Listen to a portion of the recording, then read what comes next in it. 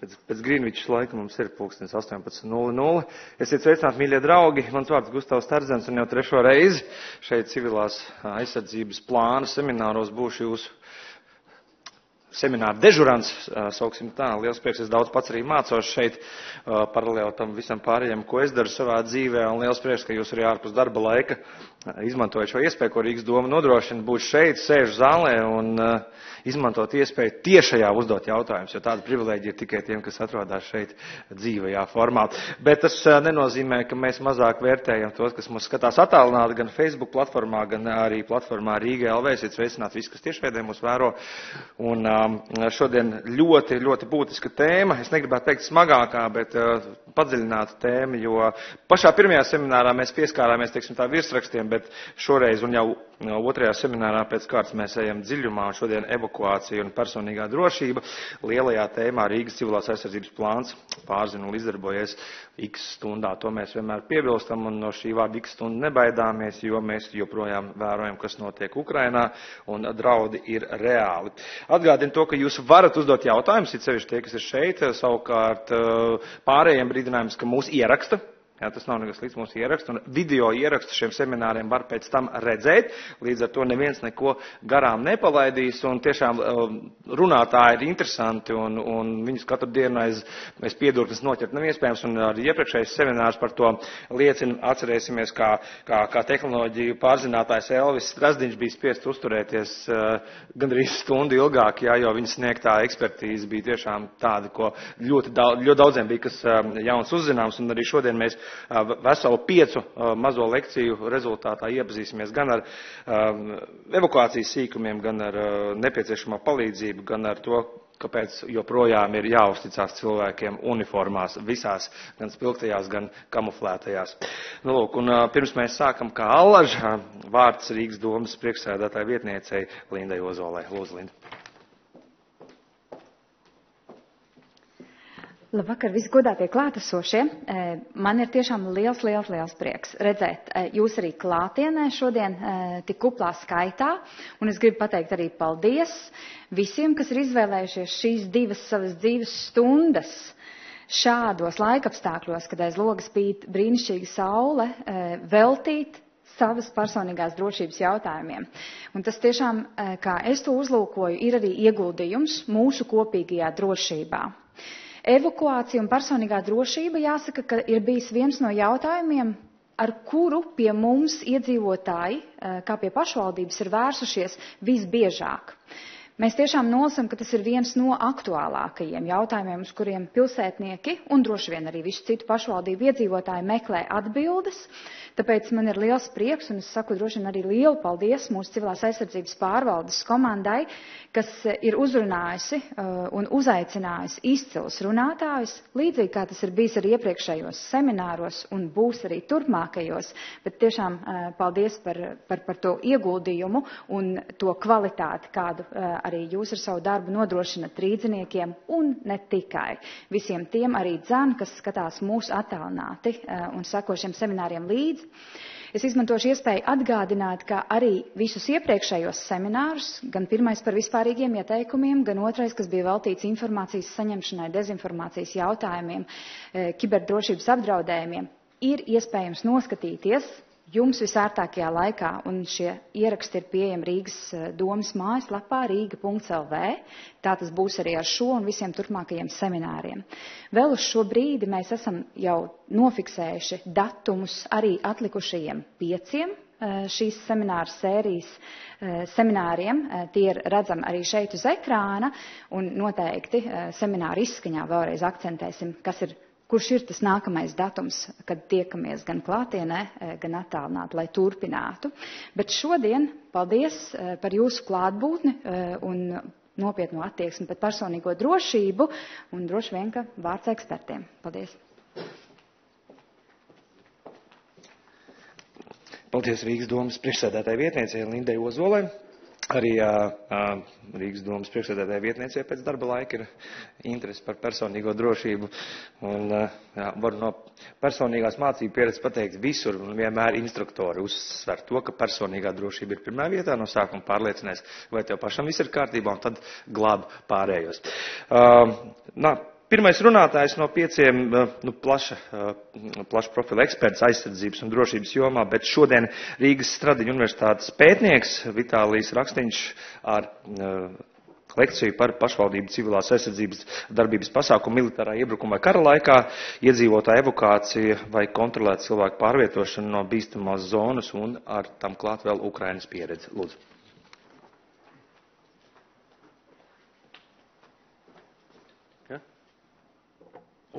Super. Jā, tad, jā, tad labu vakar. Eh, paldies uz uzaicinājumu. Eh, jā. Tad eh, es centīšos ar savu lekciju kā, dot nelielu ievadu, kā tās militārais apdraudējums varētu izpausties. Un, man liekas, un tad tālākie eksperti viņi tieši padziļinās katrs par savu jomu, nu, kā, kā, konkrēti par evakuāciju, par, par medicīnas palīdzību un tā tālāk. Uh, Bet, jā, tad attiecīgi eh, es izmantošu arī Ukrainas piemērus, jo tas ļauj eh, daudz atklātāk runāt, ne, tiksim, neizskarot valsts noslēmuma objektus, eh, bet es domāju, tieši viņu, viņu piemērs mums arī, arī, arī var palīdzēt labāk saprast tieši pašvaldības lomu un institūciju lomu militāra apdraudējuma gadījumā. Tā, ja mēs skatāmies no, no formālas puses, jā, tad attiecīgi kara pirmā diena, tas, ko prezidents izrunāja kara laiku, tad pieņemta virkne lēmumu. Tā izskaita, kas ir svarīgi, tikai pieņemta lēmuma par militāro administrāciju izveidi, un es tā tālāk izskaidrošu, kas tas ir. Un otrs ir, ka tika aktivizēts cilvēks aizsardzības plāns Respektīvi, tā gatavības pakalpa pilnā gatavībā ar konkrētiem uzdevumiem, tā skaitā arī pašvaldībām un noteiktām teritorijām jau uzsākt iedzīvot evakuāciju tam, tie, nu, tur, tur, kur tuvojas fronts līnijā, vai arī būt gataviem evakuēt iedzīvoties, ja tas būs vajadzīgs. Attiecīgi, formāls lēmums aktivizēt civilās aizsardzības plānu sistēmu gan, gan valsts institūcijām, gan pašvaldībām ar, ar tālākiem kaskadiešu uzdevumiem, nu, tā skaitā arī evakuācija. Ja mēs skatāmies Atvainojos. Ja mēs skatāmies eh, mūsu nacionālo sistēmu, jā, tad attiecīgi mums ir eh, tas, eh, nu, kas varbūt šeit tad jūg, tā, tā izpratne, kas ir izņēmums stāvoklis un kas ir kara laiks. Tad, attiecīgi, izņēmums stāvoklis, jā, tas ir speciāls tiesisks režims ļoti līdzīgs, kas bija ārkārtēja situācija, tikai kas ir domāts militāra apdraudējuma gadījumā. Kas ir svarīgi, ka viņu izsūtina ministru kabinets. Jā, attiecīgi, ir, ir vairākas pazīmes, bet tur obligāti jābūt ministru kabineta lēmumam par izņēmumu stāvokļu izsūtināšanu. Gadījumā, ja ministru kabinets nepaspēja, ja tas iebrukums ir pēkšņs un, un, kabinets nav paspējis sākt darboties, tad iestājas tas faktiskā situācija karavaiks, ja, kas mums arī iziet no satversmes, kas principā aktivizē tos pašus režīmus. Ja, tad, tāpēc arī gan, gan plāna, gan, gan vairākus dokumentus tiek minēts gan izņēmums stāvoklis, gan militārais apdraudējums, gan karavaiks, ja, tāpēc vai nosektu visas tas situācijas. Kas ir svarīgi, attiecīgi, ka, ja ir izsudināts izņēmums stāvoklis vai, vai, vai iestājas karavaiks, tad tiek aktivizēti visi tie plāni. Tas ir valsts aizsardzības plāns, valsts aizsardzības operatīvais plāns, kas ir domāts jau bruņotiem spēkiem, to mobilizācijas plāns, tautcēņas mobilizācijas plāns un tā tālāk. Mūsu gadījumā valsts cilvēks aizsardzības plāns, viņš tieši, tieši netiek aktivizēts, jā, tiek aktivizēti tie, pie, tie pielikumi, jo viņš nav tā kā daļa no tās sistēmas, bet skaidrs, jā, arī valsts cilvēks aizsardzības plāni ir tie speciāli pielikumi un arī pašvaldības plānas arī konkrēti uzdevumi, ko darīt militāra apdraudējuma gadījumā. Jā, tad attiecīgi šis ir skaidrums, kas ir tas militārais apdraudējums un, un karavaiks, kā, kura laika tad attiecīgi to cilvēks aizsardzības funkcijas ir jāizteno. Un, lai bišku saprastu to globālo sistēmu, ko dara konkrēti pašvaldības, tad mums jāsaprot, ka mūsu valsts arī, nu, kā, kā totālās aizsardzības valsts, līdzīgi kā, kā Skandināva valstis, kā arī pārējais Baltijas valsts, ka mūsu pamata fokus ir nodrošināt kritiskas funkcijas jebkurā situācijā. Attiecīgi, Tāpēc gan ministriem, gan institūcijām, gan arī pašvaldībām ir, ir dots konkrēts uzdevums nodrošināt kritiskas funkcijas. Ne visas, bet iespēja robežas, protams, ir pārējais, bet fokusēties tieši uz to kritisko funkciju īstenošanu, par ko ministrijām un institūcijām ir attiecīgi viņu plāni un pašvaldībām tie, tie ir pielikumi, gan ierobežotas pieejams pielikumi, gan, gan arī pielikumi arī par rīcībai krīzes situācijai. Līdzīgi uzdevumi ir arī kritiskiem komersantiem, kritiskai infrastruktūrai, ko mēs sauc par kritisko infrastruktūru, kritisko finanšu infrastruktūru. Arī viņam ir uzdevums nodrošināt kritiskās funkcijas. Primāri tas ir energoapgāde, sakari, komunikācija tā tālāk. Attiecīgi fokus ir, kā mēs iedzīvotāji varētu saņemt tas kritiskas funkcijas arī militāra apdraudējuma gadījumā. Un, liekas, skatoties uz, uz to pašu Ukrainu, jā, ka principā, ka fokus uz vairākām institūcijām bija tieši kā nodrošināt, ka tie kritiskie pakalpojumi tiek nodrošināti. Un pie tā visa, protams, nāk arī sabiedrības tā, tas elements, jā, tā ir tā gatavības kultūra vai sagatavošanas kultūra, un tad tā viens no simboliem ir tā mugursoma. Ne ar to domu, ka mums obligāti uzreiz jā, jā, jāskrien, bet ka mums esam gatavi, tā skaitā arī situācija, kad ir jāevakuējas, jo, lai arī cik mēs gatavi nebūtu, varētu būt situācija, ka tiktu pieņemt lēmums evakuēties, jā, dažādu iemeslu dēļ, un principā tad attiecīgi, no obakta soma ir sagatavota, obakta tie plāni ir, ir, ir, ir izieti vismaz mm, izrunāti, nekā, nekā tas mums pārsteidz nesagatavotas. Tā kā, tas ir tas tā, tā sistēmiska pieeja. Un konkrēti jau par pašvaldību, ja, mēs esam pašvaldību, tad nu, tas, tas pašvaldības trīs darbības pilāri militāra apdraudējuma gadījumā, principā tas arī iziet arī no, no tiem, kā notiek. Tas, tas pirmais ir, ka pašvaldība arī šāda situācija ir jānodrošina iedzīvotāju pamatvaidzības. Jā, arī skatoties uz Ukrainu pēc diviem, trim gadiem kara, arī tāpat iedzīvotājiem vajadzīgas kaut kāds atļaujas būvniecība, iedzīvotājiem vajadzīga tāpat kanalizācija, sakrindā tālāk. Attiecīgi pašvaldībai tur jāturpina sniegt tie kritiskie pamatpakalpojumi iedzīvotājiem, līdz ar to nu, tad, tur nekas neapstājas. Kas nāk jauns? Jā, nāk jauns ir tās, tā sadaļa, kur pašvaldībai pirmkārt ir jābūt gatavai pašai strādāt kaut kāds ekstremāls apstākļus, respektīvi, ka ir plāns B, kur izvietoties, plāns B, kur atrast tos rezervas personālu, ka ir arī izrunāts, nu, teiksim, tas jautājums par patvērtnēm, par, par, par, par evakuāciju. Nu, tas, tas ir tāds tīri militāras sadaļas, kuras droši vien tā centra Eiropas valstu pašvaldības netika apspriestas, bet, nu, diemžēl mēs esam pierobežas valsts, līdz ar to skaidrs, ka, ka, ka pašvaldība ir arī zināma loma gan pārvietotu personu uzņemšanai, jā, tad attiecīgi ir konkrēts uzdevums katrai pašvaldībai būt spējīgi uzņemt noteiktu procentu no iedzīvotāju skaita, gan par jautājums par to rezervu laicīgu apzināšanu, lai varētu atrast, kur ir, nezinu, papildus degvielas rezerves un tā tālāk. Un arī, protams, laicīgi domāt par to pašu arī iedzīvotāju informēšanu, brīdināšanu tā tālāk. Nu, un tur es ceru, mani kolēģi tālāk jau ies detaļas par šiem jautājumiem. Un tā trešais pilārs, tas, tas defensīvas funkcijas, jā, kas, kas mums ir nu, pašais nav, nav ļoti, ļoti uh, attīstītas, bet uh, jā, skaidrs, ka katrai pašvaldībai ir kopā ar vietēju garnizonu vai, vai zemesardzes bataljonu jāizstrādā tas plāns, kā, kā pašvaldība var sniegt atbalstu uh, bruņotajiem spēkiem. Ir ties tas par mobilitātes pasākumu, respektīvi, kā veicināt sabiedrotu spēku atrāku pārvietošanas vai bruņotu spēku atrāku pārvietošanas. Un pretmobilitāte, tas, ko mēs redzam, dažādi pretanku ežu vai kaut ko ceļu blokēšana, jā, ir tie dažādi pasākumi, kā var, kas saucamas defensīvas funkcijas. Es radu piemēru no, no Ukrainas, respektīvi, Ukraina izveidoja militāras administrācijas tieši ar tādu nolūgu. Pirmais nolūks bija, ja, ja cilvē, nu, civilā doma nevar sanākt, tāpēc, ka nav kvorumā, viņi ir prom, ja, tad ir tie, kas viņu var aizstāt, tas ir militāras administrācijas, bet otrs militāras administrācijas funkcijas bija sagatavot pilsētas aizsardzībai. Viņi bija tie, kas komunicē ar bruņotajiem spēkiem, tie, kas bija atbildīgi par pretmobilitātes pasākumiem, par kaut kādām citām lietām. Tā kā, nu, es ceru, šis, šī, šī, šis pilārs arī tiks attīstīts, īpaši, kad jā, um, pašvaldību vadītājiem parādīsies tas pielaides iespējas vairāk viņus iesaistīt aizsardzības plānošanā, droši vien tad tur arī paliks tas funkcijas ar vien vairāk defensīvas. Jā, bet pamatfunkcijas nekur nepazūd, kritiskas, kritiskas funkcijas jā, tāpat jānodrošina, bet nāk klāt, gan spēja pašiem darboties tādas ekstremās apstākļos, gan arī uzņemt kaut kādas pārvietotas personas, būt gataviem arī evakuēt daļu no iedzīvotājiem, un tā skaitā arī kaut kādas militāras funkcijas. Skaidrs, ka pašvaldība to nevar viena pati organizēt, un tāpēc arī uh, ir, ir tā sistēma, ka ir tās cilvēks aizsardzības operacionālais vadības centrs, tas ir tāda kā starpresoru struktūra zem ministru kabineta, ko vada iekšlietu ministrs uh, vai iekšlietu ministra, no, nu, iekšlietu ministra, ministra norādīta persona, parasti tas ir valsts sekretārs, kur ir visu ministriju un kritisko iestāžu pārstāvi, un kas principā dažādos darba grupas arī risina tos jautājumus. Piemēram, ja ir jautājums par evakuāciju, tad viņi runa par, par transporta pieejamu, par degvielas pieejamu, par ceļu dekonfliktāciju ar militāru pārvietošanas. Jā. Viņi arī tie, kas komunicē ar bruņotiem spēkiem, un arī viņi tie, kas arī komunicē ar pašvaldībām. Tā kā šis centrs, viņš nu, eksistē arī cilvēku aizsardzības plāna Viņš arī bieži tiek testēts tais, nu, ikgadējas mācībās, tā kā vismaz nu, cilvēki sanāk notestē procedūras, notestējas. Tā kā izsas lai arī, jo, jo pašvaldība īpaši piemērs, tā kā Rīga, tā, galvaspilsēta, nu, vai nodrošināt kaut kādu evakuāciju bez valsts iesaistes, tas nav iespējams, tāpēc, ka šeit ir ministrija, šeit ir vēstniecība, šeit ir kritiska infrastruktūra attiecīgi. Tāpēc ir vajadzīgs tas par, par, pārresori kaut kāds koordinācijas centrs, kas tieši atrisinātu un arī, kas sarunātu gan transportu, gan arī sarunātu arī uzņemšanu citas pašvaldības. Ja viens ir evakuēt cilvēkus no punkta A, bet kurš viņus uzņems, kurš nodrošinās viņiem transportēšanu, kurš nodrošinās uzņemšanu. Tāpēc arī tāpēc tas, nu, tā, tā, tā struktūra mums eksistē.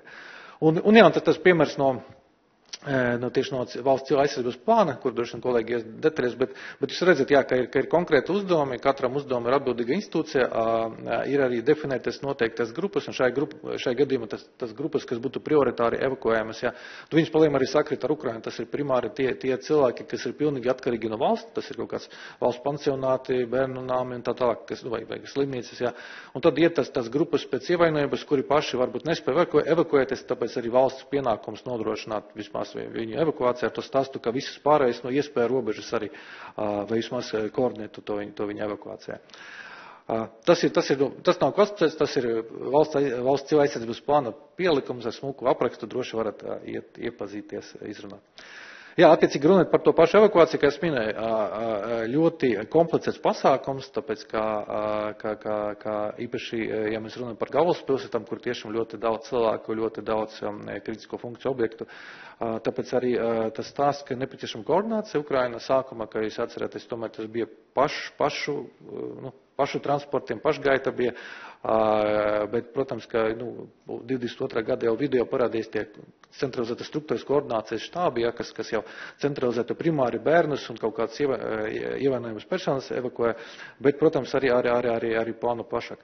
Bet arī, kāpēc es pieminēju, tie divi čatoboti, droši vien viņi noteikti bija vairāk, Bet tas bija tā, tās pirmais piemērs, kur, kur ir tieši nevalstiska sektora loma, jo, jo cilvēku uzņemšana noteiktos reģionos, nu, primāri tomēr bija liels brīvprātīgu atbalsts, tāpēc, ka cilvēkiem ar savām vajadzībām, kam ir suņi, kam ir kaut kādi nepilngadīgi bērni, ja, nu, valsts nevar visus, visu nodrošināt visu uzņemšanu vienādi, tāpēc arī Tā ir tā loma, kur nevalstiskas organizācijas būtu tieši tie, kas sniedz atbalstu tādas krīzes, kas palīdz uzņemt cilvēkus, kas arī paši koordinē. Ja jūs redzat, viens no tiem čatubotiem tieši palīdz koordinēt transportu, otrs čatubots palīdzēja, kas saka, atrast tas e, dzīvojamas vietas, kur tos cilvēkus izvietot tā tālāk. Tā kā noteikti, e, tāpēc arī visas izpos tiek aicināts padomu par nevalstiskā sektora iesaisti, jo tie, tie resursi, ko noteikti var izmantot.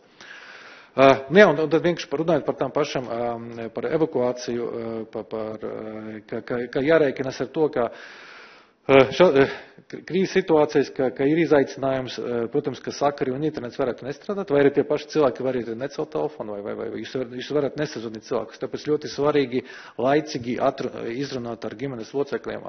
Nu, šajā gadījumā tas piemērs no Ukrainas arī, ka ir vairākas situācijas, kur laicīgi izrunāts, un tad vienkārši to atsūtīt to 1-4, 1-5, un tad tie ģimenes locekļi saprot, ok, es eju pie kaimiņa un gaidu, viņš mani savāks. Ja. Vai izvērt situācijas, ka krīzes situācija nestrādā telefoni, Tāpat ir stress, panika, nepazīstamas numurus droši vien visi necels, vai ne? Tāpēc ļoti svarīgi laicīgi to visu izrunāt. Un, un otrs arī, kur, kur ir tā kodu sistēma, ir, ir forši, ja, ja pat pretinieks nu, kaut kādā nukrist, piekrist pie jūsu telefona, viņam tas neko nesaka, 1, 5, 1, 6, nu, tas vispār neko nepalīdz. Jā, tad, tad tas ir pirmais. Otrs, man liekas, arī svarīgi bija saprast, jā, tā, ka datubāzes, virkne datubāzes tika atslēgtas, drošības iemeslu dēļ, līdz ar to iespējas atjaunot dokumentus vai izsniegt jaunus dokumentus bija limitēts, tāpēc vienmēr skat skatāmies, pārbaudām pats derīguma termiņus, ja, kas saka, ne tikai, kad jābrauc uz Turciju vēl kaut kur, bet arī, arī, arī ikdienā, jo, jo tas, tas varētu būt izaicinājums. Un, protams, jā, kā infrastruktūras nepieejamības, jā, tā skaitā, tie, tie ceļi, ko mēs ikdienā izmantojam, viņi varētu būt nepieejami, vai gan iznīcināti, gan blokēti, gan tur varētu būt izvietoti, viņi tikt izmantot bruņotu spēku vajadzībām, tā kā jābūt Tāpēc tā, tā ideja bija apstaigāt savu uh, apkārtni, saprast, vai ir kaut kāda alternatīva tam ceļam, ko es ikdienā izmantoju, ja, jo, jo, jo, jo tie varētu nebūt pieejami. Nu jā, un uzņemt noteikti tas sabiedrības grupas, tīpaši eh, cilvēkus ar īpašiem vajadzībām tā tālāk, jo, nu, jā, tas, tas prasa īpašu aprūpi, un īstenībā tas iemesls, kāpēc daudzi cilvēki Ukrainā atsakās evakuēties no kaut kādiem reģionu, kur jau pietuvojas pat, pat tā, tā, tā frontes līnija, tieši tā, ka viņam nav kur braukt, viņi, viņi nav, viņam nav pārliecības, ka viņus tur aprūpēs, ka viņam nodrošinās kaut kāds pakalpojums, līdz ar to, nu, tā, tas, tas ir tāds ļoti eh, svarīgs jautājums, kas saka arī, eh, kur, kur tā nevalstiskā sektora un sabiedrības iesaisti. Jā, un par drošību es tad droši vien tur viestos tālāk detaļās, bet, bet īsi stāsts, tie, tie standarta stāsti, jā, ka Vai arī kā mums gribētos jau laicīgi miera laika definēt visas pulcēšanas vietas un kur kas, kāda informācija būs pieejama, vienmēr tā diskusija, bet nu, viņi būs zinām ir pretinieki, un līdz ar to pastāv liels, liels risks, ja, ka viņi varētu būt tie, tie, tie, līdz ar to tur jābūt vienam, vienmēr balansam. Tās vietas ir jāzina, bet vienmēr jāseko līdz vadlīnijām, kur ir tā īsta pulcēšanas vieta uz to krīzes situāciju. Uh, jā, tas, ka ļoti daudzi paramilitāras uh, mugursomas vai, vai, vai, vai, vai, vai uniformas, jā, nu, tas aicinājums arī, ja jūs evakuēties, un ja jūs nesat tieši pretošanas, vai ja jūs nesat kaut kāds cilvēks, kas iesaistīts valsts aizsardzību labāk nenesat, jo gan savēji, gan, gan, gan pretinieks varētu jūs uztvert par, par, par legitīmu mērķi, zinām, veidā. Bet arī otrs, jā, pārvietojoties blakus kaut kādiem kritiskas infrastruktūras objektiem militāram vienībām arī, arī apzināties riskus, ka viņi varētu būt nu, mērķis, līdz ar to, nu, uzturēšanas viņu klātbūtne kara laikā arī, arī, arī zināms risks. Jā, tas otrs, jā, protams, tas visas apziņošanas aplikācijas, un droši vien, ko kolēģi no Vukta arī stāstīs par, par, par mūsu sistēmu, jā, skaidrs, ka, ka arī šūna apreide tika palaista, bet tomēr pārsvarā cilvēki lieto tas lietotnes privāta sektora uzturētas lietotnēs, nu, daž, daž, dažādu veidu, kur ir kā, kā aplikācija atnāk tas paziņojums uz, uz telefonu. Uh, jā, tas, tas, tas ir ļoti, ļoti svarīgi, tā laicīgi apziņošana. Nu, un tas pēdējais, kur, kur, kur jūs redzat, tas, tas filtrācijas, nu, tas jāsaprot, ka potenciāli tad arī pretinieks varētu būt tā, tā ceļa, un, un tāpēc arī tas pamācības, nu, kāda informācija nav jātur telefonu, jā, kas, saka, kas varētu būt par iemeslu jūsu, nu, kas saka, aizturēšanai, jā, uh, un tad, kā uzvēsties tāda situācijas arī ļoti svarīgi tādu informāciju laicīgi izplatīt, un kur, kur Ukraiņa arī, arī darījuši. Tā kā. Nu, par drošību būs detalizētāk, bet īsi stāsts, jā, ka tas prasa evakuācija kara laika, tomēr ir ļoti liels nianses un atšķirības no evakuācijas, nu, ko mēs redzam miera laika, kad ir dažādas katastrofas un tā tālāk. Nu, jā, standarta vaids par, par, par visu, visu kopīgu atbildību, ka zemes tādas jaunas moto, kas saka, jā, bet tieši tā, ka padomājam, ka mēs arī varam, varbūt mēs ne tikai paši esam gatavi, bet mēs arī varam palīdzēt kādam līdzcilvēkam, jā, tāpēc arī, nu, tas man, man atbildība arī varbūt par kaimiņiem un tā tālāk. Tā.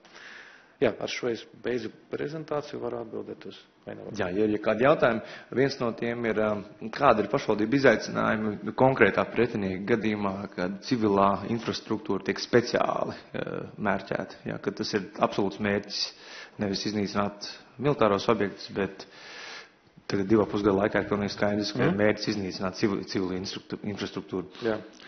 Nu, es teiktu, ka tad droši vien arī mērķis arī, tā skaitā arī militāra infrastruktūra vienīgais, ka bieži tas, ka netrāpā vai notriec raķetes un, un cieši, diemžēl, cilvēka infrastruktūra, bet, bet es teiktu, ka Tāpēc arī ļoti pirmkārt rūpīgi jāseko tam visam norādījumam. Ja ir gaisa trauksma, tad arī principā jāiet evakuēties. Mēs esam pamanījuši, ka cilvēkiem jau zināmu fatalismu sajūtu, tie, tie, tie, kas bija nesen Ukrainā, var apliecināt, ka, kad ir tas gaisa, gaisa trauksme, daudz jau neiet pagrabos, kas saka. Kaut gan īstenībā nu, riski nav mazinājušies, ja pats apdraudējums pastāv. Vienkārši nu, cilvēkam ļoti grūti izdzīvot 3-4 gadus. Tas līdzīgi kā Covid laika. Beigas jau bija fatas, ok, nu, kas saka, staigāšais bez maskas vēl kaut kā. Visais tas, ka cilvēki cilvēkam, nu, ka, ka, ka tā psiholoģiskā, psiholoģiskais nogurums arī ir. Bet jā, skaidrs, ka, ka tie objekti noteikti varētu būt mēģis, un tāpēc arī svarīgi, jā, ka, saka, ka, ka saka, sekot līdz tam norādījumiem, kas saka, jo, jo valsts institūcijas, pašvaldības institūcijas norādīts, tad tas kaut kāds evakuācijas ceļš vai, vai, vai kur pulcēties, kur nepulcēties. Bet otrs arī, ja jūs redzat, ka jums blakus ir energostācija, nu tad nu, rekinēties, ka, nu, ka atnāks diena, kad tur atlidos kaut kas, jā, līdz ar to tas arī, arī, arī izpratnē. Nu, cik, cik bieži tu atrasties kaut kādai kritiskai infrastruktūrai, jā, tas, tas bīstamiem objektiem, jā, īpaši tādā, tādās situācijās. Tā kā.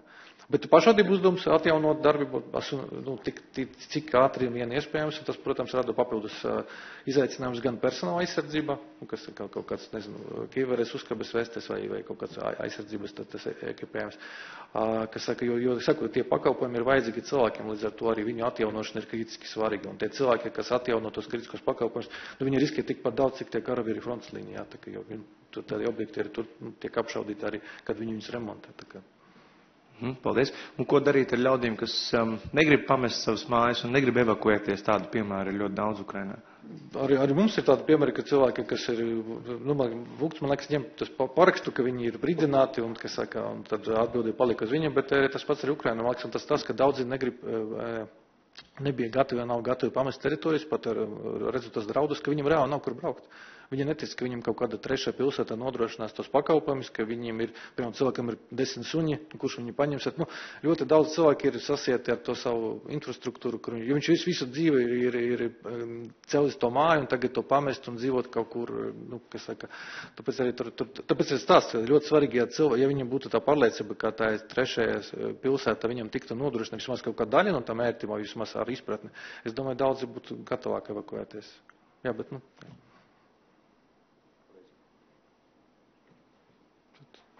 Vēl jautājumi? Paldies.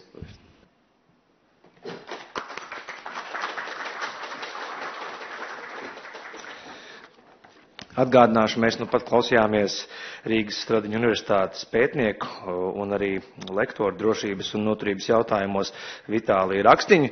Uh, es ceru, ka Vitālijas uzturēsies līdz, ne, neuzturēsies līdz semināru beigām.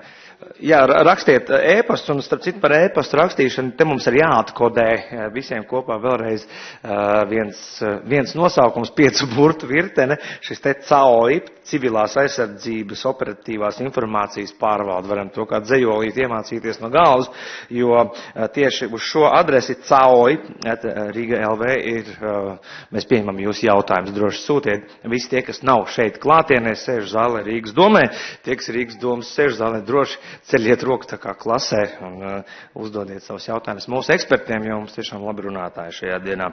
Jā, nu tad, tad, tad mums ir dažādi rīcības plāni augstajos līmeņos, bet ko darīt tad, kad šī te situācija reāli iestājas un tā pirmā panika un tie nekontrolētie ļaužu pūļi meklēt izēju un domā, ko nu darīt šajās brīdī. Ja? Tad, tad tas atgādinājums ir par to, ka karā apdraudējuma vai militāra apdraudējuma apstākļos dzīve kā līdz šim būs aptuveni trīs dienas, pēc tam sākās izdzīvošana, un tad jāsāk ticēt cilvēkiem formas tērpos, savējiem, protams. Nu, lūk, un par šo un arī par agrīnās informēšanas un brīdināšanas sistēmu aicinu uh, savu lekciju mums noturēt valsts ugunsdzēsības dienas civilās aizsardzības sistēmas darbības koordinēšanas nodeļas vecāku inspektori Sanita Suveizd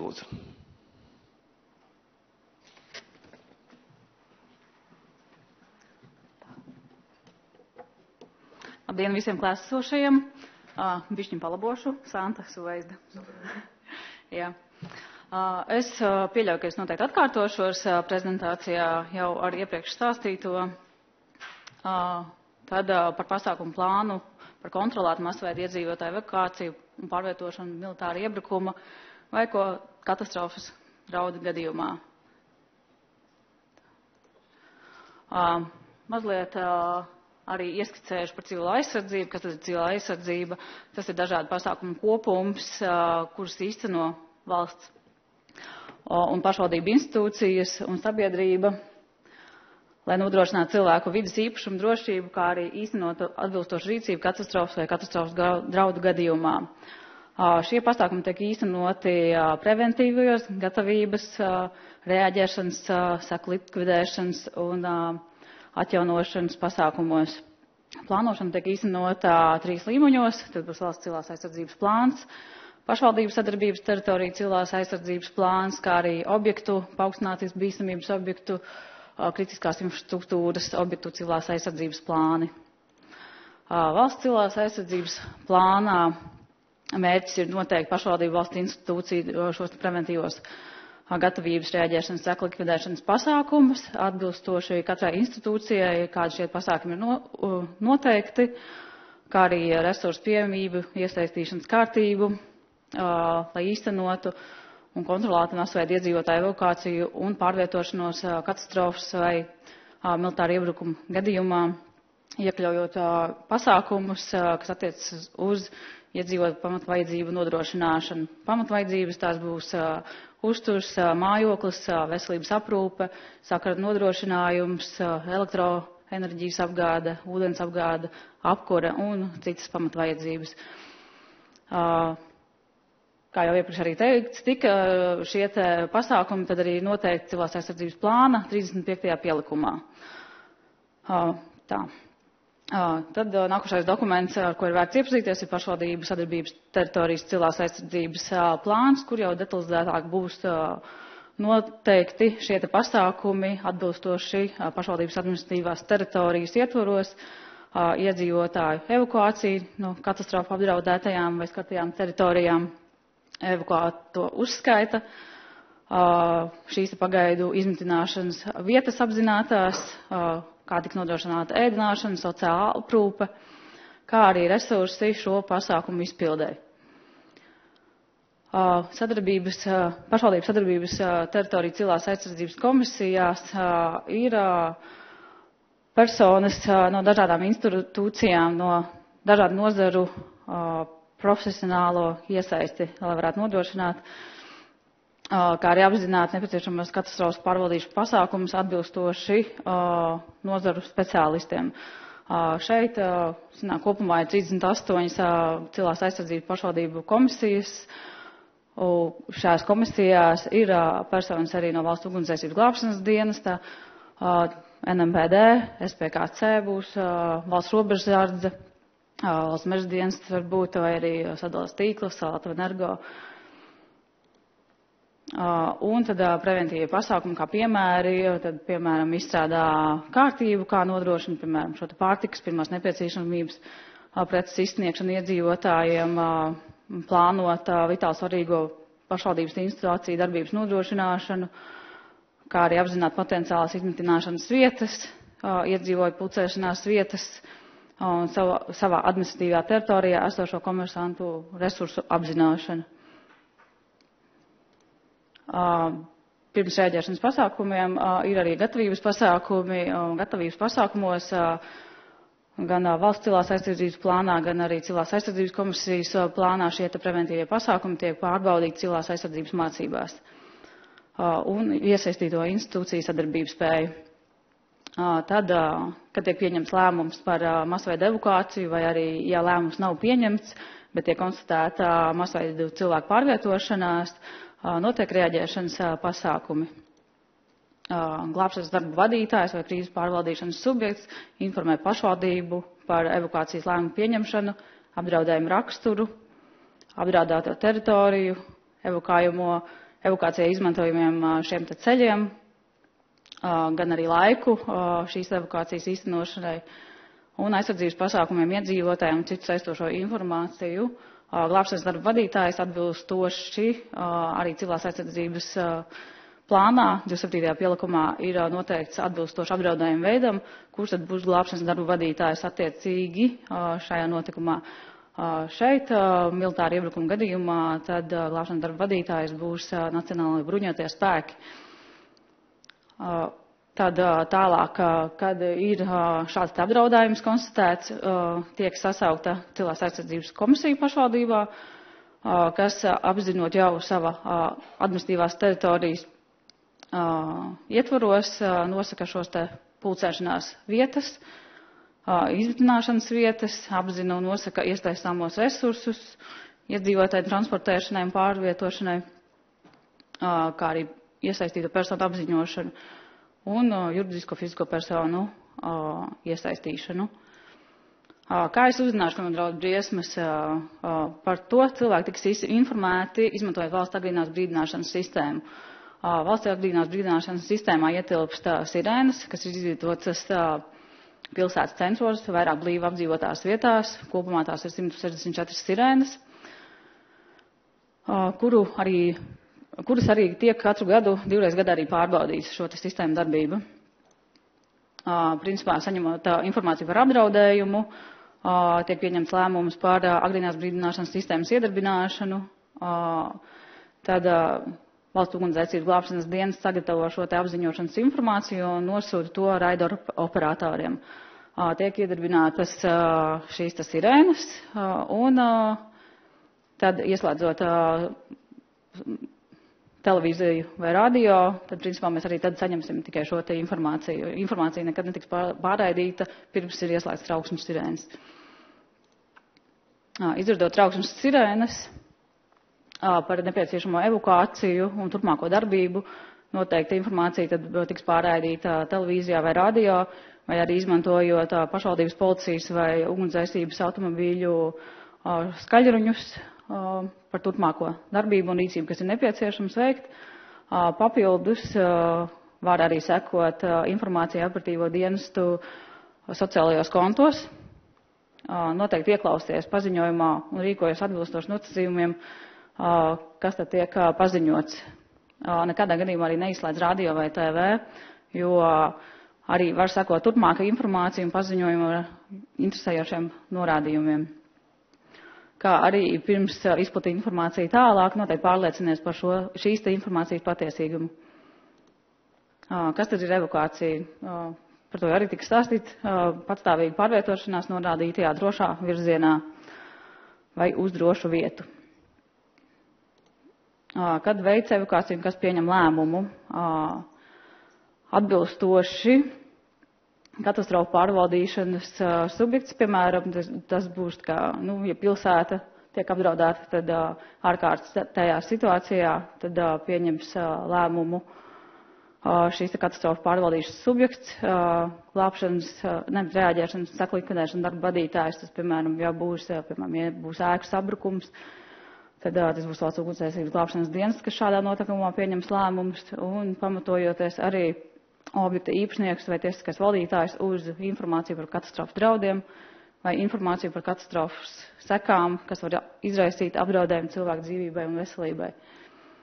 Uh, lēmumu pieņemšana evakuācija militāra apdraudējuma gadījumā uh, par lēmumu pieņemšanu, par nepieciešamību pieņemt šādu lēmumu atbildīgā institūcija būs Nacionālai bruņotie spēki, bet pašu lēmumu jau pieņems ministru kabinets, izsludinot īpašu tiesisku režīmu šo te ārkārtas situāciju vai izņēmumu stāvokli. Evokācija no apdraudētās teritorijas militāra apdraudējuma gadījumā. Ko, dar, ko darīt, ja nepieciešams evakuēties? Uzmanīgi ieklausies paziņojumā par evakuācijas norisi, iegaumēt un ievērot evakuācijas virzienu, kurā ir nepieciešams doties, gala mērķi vai pulcēšanās vietu. Ja iespējams, izmanto savu transporta līdzekli, lai nokļūtu evakuācijas punktā, vai arī, ja nav iespējams izmantot savu transporta līdzekli,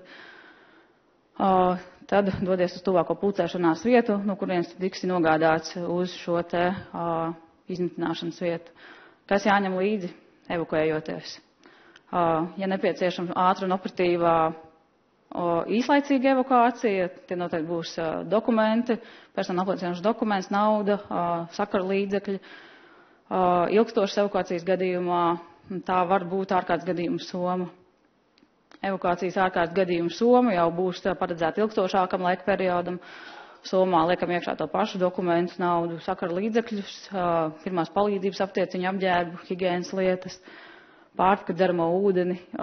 Protams, atceramies, ka soma ir tik smaga, cik mēs viņu varam panest līdzi.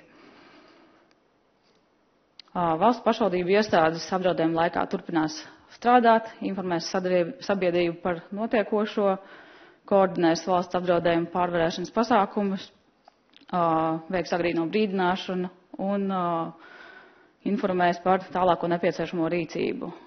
Pašvaldību iestādes nodrošinās iedzīvotāju pamatvajadzības pašvaldību administratīvajā teritorijā, nodrošinās agrīno brīdināšanu situācijas monitoringu, nodrošinās svarīgās infrastruktūras pastiprinātu aizsardzību, sabiedrisko kārtību, nepieciešamības gadījumā veiks iedzīvotāju evakuācijas pasākumus un evakuēto personu uzņemšanu, sniegs nepieciešamo atbalstu nacionālajiem bruņotajiem spēkiem. Transportēšanas pasākumi arī tiks nodrošināti no ārstniecības iestādēm uz citām ārstniecības iestādēm. Starp ieslodzījumu vietām ieslodzīto pārvietošana tiks nogādāta uz citu ieslodzījumu vietu, tāpat arī sociālās aprūpas centri un iedzīvotāju pārvietošana notiks no pulcēšanās vietām uz izmitināšanas vietām. Tad jau, principā, sako, jau saku, likvidēšanas darbi, principā, kad ir konstatēta šī bīstamības nēsamība. Cilvēki tiks informēti par to, ka ir iespēja atgriezties iepriekšējās dzīves vietās, pašvaldība organizēs šo te izdzīvotāju atgriešanos evakuētajās teritorijās. Tā, un papildus varu, varu atgādināt arī par šo lietotni 112 Latvija, kur arī mēs varam saņemt informāciju par apdraudējumiem, kā arī par agrīnās brīdināšanas sistēmas informāciju. Un, un, un atgādina tad arī pašvaldību civilās aizsardzības plāniem, valsts civilās aizsardzības plāniem, kā arī objektu civilās aizsardzības plāniem. Mēs varam iepazīties gan ugunsdzēsības dienesta mājaslapās, gan arī pašvaldību mājaslapās. Tā, paldies par uzmanību. Tas būs viss. Paldies. Jautājumi? Jā, lūdzu. Kā jūs sauc? Labdien, Inēta Ielīte, sieviešu sadarbības tīkls valdes priekšsēdētāji. Man jautājums par tiem evakuācijas, to priekšpēdējo slaidu. Jo, manuprāt, tur ir viena būtiska kritiskā iztrūkstošā vieta, jo, ja, ja jūs aiziet atpakaļ uz priekšpēdējo slaidu. Kā es tam izdarīju? Lūdzu.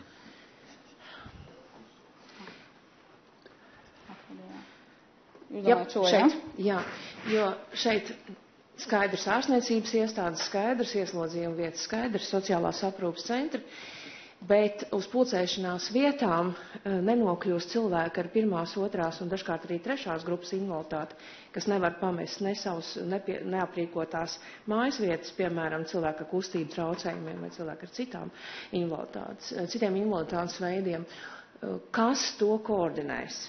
Jo, piemēram, šobrīd pat Rīgas pilsētā, nu es nevaru pateikt, cik ir vientuļo, piemēram, pensionāru, e, kuri nespēja paši par sevi paru, aprūpēties un kurus e, atbalsta Rīgas domas e, sociālais dienests ar aprūpētāju palīdzību, bet šie aprūpētāji nevarēs nonest šos cilvēkus no piektā stāvu, piemēram, ja, bez lifta vai kā savādāk, jo šobrīd, lai, piemēram, nokļūt slimnīcā, ja, šāda tipa, nu, iedzīvotājiem ir nepieciešama kopā ar neatliekamo medicīnisko palīdzību palīdzību arī e, ugunsdzēsēji un glābšanas dienests, kas atbrauc un nones viņus. Ja? Un tāpēc šeit ir jāiestrādā vēl papildus viena norma. Tas pats, kas notiks ar māmiņām, kurām ir vairāki bērni, pie tam mazgadīgi bērni, viņas pašas nespējas nokļūt.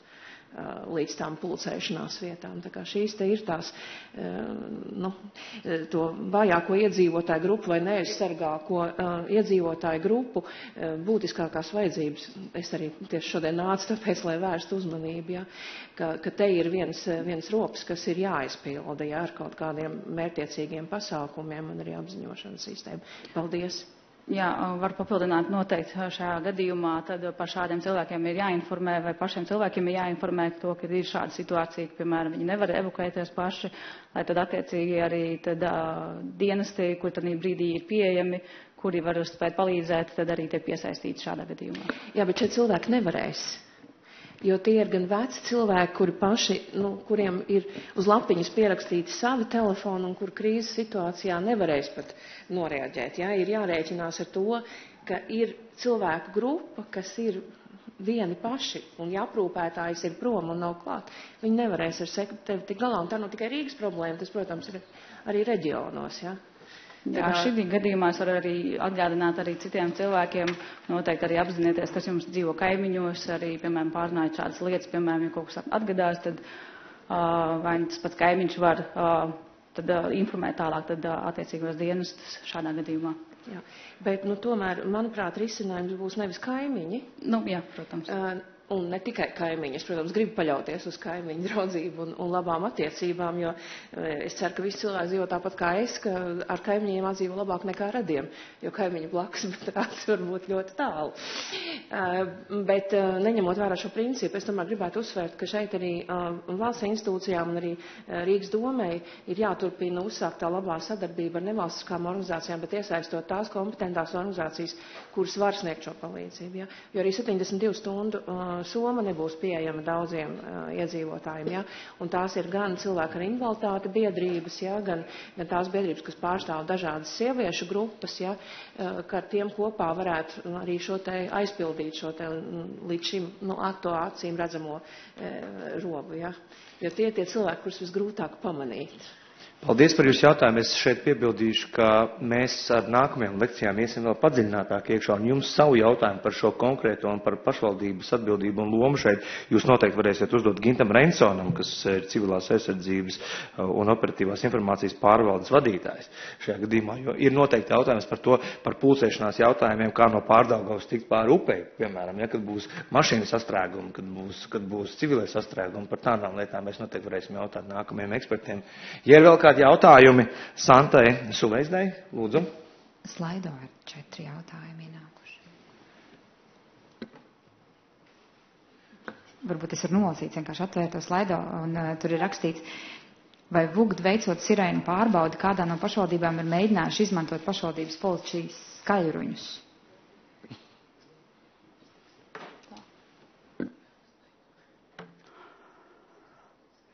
Tā, nu, tādu notikumu tagad no galvas nepateikšu, vai šāds ir bijis, bet jā, man liekas, arī Covid laikā bija, kad pašvaldības policijas arī braukāja pielām un tad informācijas sniedza par šiem skaļruņiem.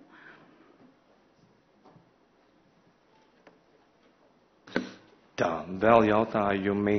Mm, kāda ir VUGD pieredze, ko evakuācijas gadījumā iedzīvotājiem noteikti nevajag darīt? Noteikti nevajadzētu zvanīt operatīviem dienestiem ar, visā, ar papildus jautājumiem, jo visa informācija jau tiks sniegta, jo tanī brīdī arī operatīvo dienestu darbība ir noslogota un nevajadzētu papildus vienkārši zvanīt ar jautājumiem uz 112, lai noskaidrotu, piemēram, kādas situācijas detaļas kas parūpēsies par evakuāciju bērniem un citiem radiem, tiem, kas turpinās nodrošināt valsts funkcijas? Kas turpinās, jā, nodrošināt funkcijas? Uh, uz šo jautājumu šobrīd nebūšu kompetenti atbildēt. Uh, šo jautājumu, es domāju, jūs varat iesūtīt pēc tam, tad uh, jautājumu sadaļā. Jā, un, nu, un arī vēl atgriežamies pie tā, tiem, kas rezidē Rīgā, strādā Rīgā, bet uh, dzīvo citur, kā rīkoties personām, kuras pastāvīgi savos transporta līdzekļos dodas ārpus Rīgas uz sevis laicīgi jau izvēlēto evakuācijas vietu, piemēram, Kurzemē. Uh, jā, izvēlētā vieta sakrīt ar uh, norādīto šo te evakuācijas virzienu, tad jā, var arī doties uz šo vietu un informēt, protams, tad arī, piemēram, radinieks, protams, par savu evakuāciju tajā brīdī. Paldies! Paldies!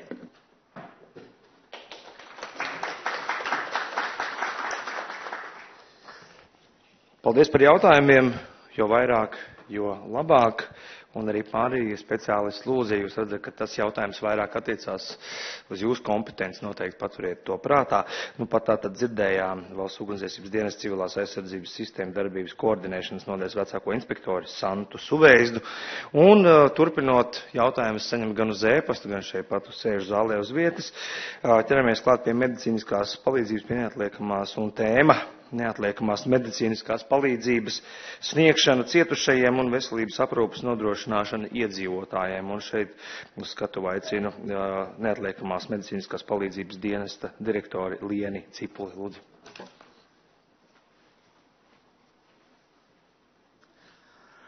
Labdien visiem!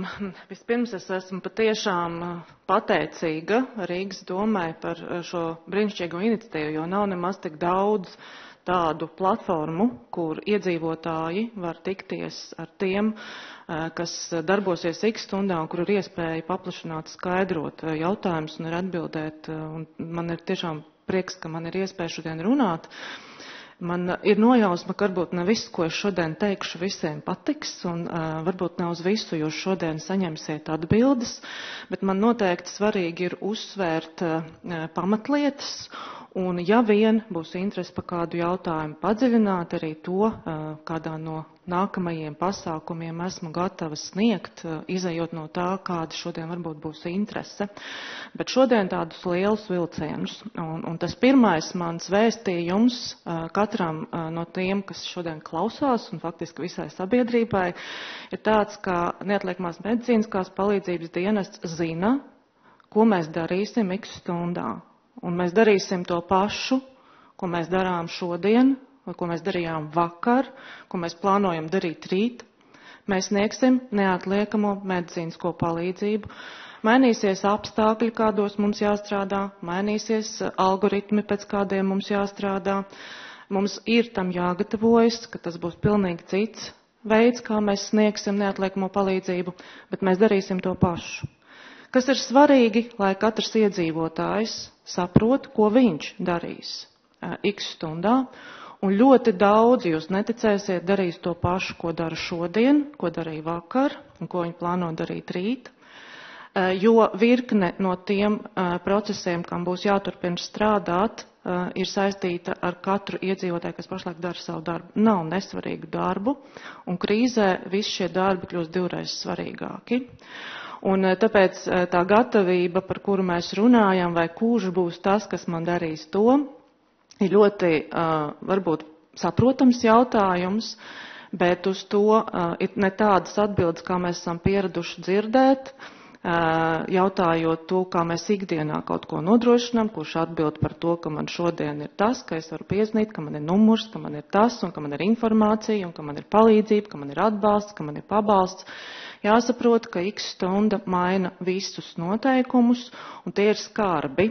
Tāpēc ir ļoti svarīgi atbildēt, vai es zinu, ko es darīšu x stundā ja tā iestātos, piemēram, tagad, kad mēs šeit visi par to runājam. Un tieši tādās kategorijās ir jādomā eh, par eh, šo x stundu, ka tas nav kaut kas tāls, neiespējams, eh, un ka es kaut kad tam sākšu gatavoties, un no sākuma es ļoti daudz klausīšos vai jautāšu, bet darīt es sākšu kaut kad. Tā darīšana ir jāsāk šodien. Un runājot par dienestu, mēs uh, darām šodien. Mēs neesam nekādi supervaroņi vai supercilvēki, kuri trenējās īpašā gatavībā kā ninjas un skries x stundā un darīs divreiz vairāk, nesīs trīsreiz smagākus pacientus, glābs trīsreiz neiespējamākus uh, smagus gadījumus. Nē, mēs esam tādi paši cilvēki, mums visiem ir ģimenes, bērni, mājas, vīri, sievas, suņi, kaķi, govis. Uh, un arī aprūpējumi radinieki un viss pārējais, bet mēs paralēli savam darbam jau šodien gatavojamies tam, ka mums varētu nākties strādāt x stundā pilnīgi citos apstākļos. Un šodien tieši skatīju cauri mūsu stratēģiju, kur mēs rakstījām pirms trījiem gadiem, Mēs tur bijām ielikuši skaistus mērķus, tas vēl bija pirms pilna iebrukuma Ukrainā, Krievijas, ka mums būs iekšēji desmit mācībās, mēs piedalīsimies, ko organizē sadarbības partneri, un arī paši uzveidosim kādas trīs mācības gadā. Nu, ja līdz tam mums tās bija attiecīgi piecas un vienas, jā, tad mēs uzskatījām, mēs esam stratēģijā ierakstījuši fantastiskus ciparus. Ja. Uh, un šodien, atskatoties uz to, ko mēs esam izpildījuši šajā sadaļā, mēs esam pārizpildījuši absolūti visu. Šeit ir minētas 25 simulācijas, kas ir reālu apstākļu, pietuvinātos apstākļos uh, veiktas mācības ar pilnīgi citiem uzdevumiem un citiem algoritmiem, bet te vēl nav iekļauts tās mācības, kas attiecas uz teoriju, kas attiecas uz galdu mācībām, kas attiecas uz tādām nenozīmīgiem, mazāk nozīmīgiem, pareizāk sakot, treniņiem, Šīs ir tādas nopietnas simulācijas, ko mēs esam gājuši cauri tikai šajā gadā vien, neskaitot iepriekšējo, un šogad mēs ejam uz jaunu rekordu. Tātad tas nozīmē tikai to, ka ir nepārtraukti jāmācās un jādara. Tas jādara ne tikai dienestiem, tas jādara katram cilvēkam. Cik daudz no jums uh, var pacelt roku, ka ir reāli nomodelējuši situāciju un vēl pamēģinājuši, kā tas dzīvē izskatītos, ja jūs izdzirdētu sirēnas un jums būtu kaut kas jāsāk darīt. Es domāju, ka varbūt kāds zemesargs pacels roku, bet faktiski, faktiski neviens. Nu, šis ir ļoti nopietnas jautājums, uz kuru mums katram jāpasaka sev tāda bilde. Mēs gaidām, ka būs gatavi kādi citi, bet kuri citi, jo tie visi, kam jābūt gataviem, esam mēs. Supermeņi nebūs, un pasaka par laimes lācis Latvijā populāra, bet arī laimes lācis eh, neatnāks. Mēs redzējām, kā mēs cīnījāmies Covidā. Līdz ar to es gribu teikt, ka gatavība nav gala punkts, tas nav rezultāts. Eh, man visvairāk pēdējā laikā kaitina, eh, ka man jautā, vai dienests ir gatavs.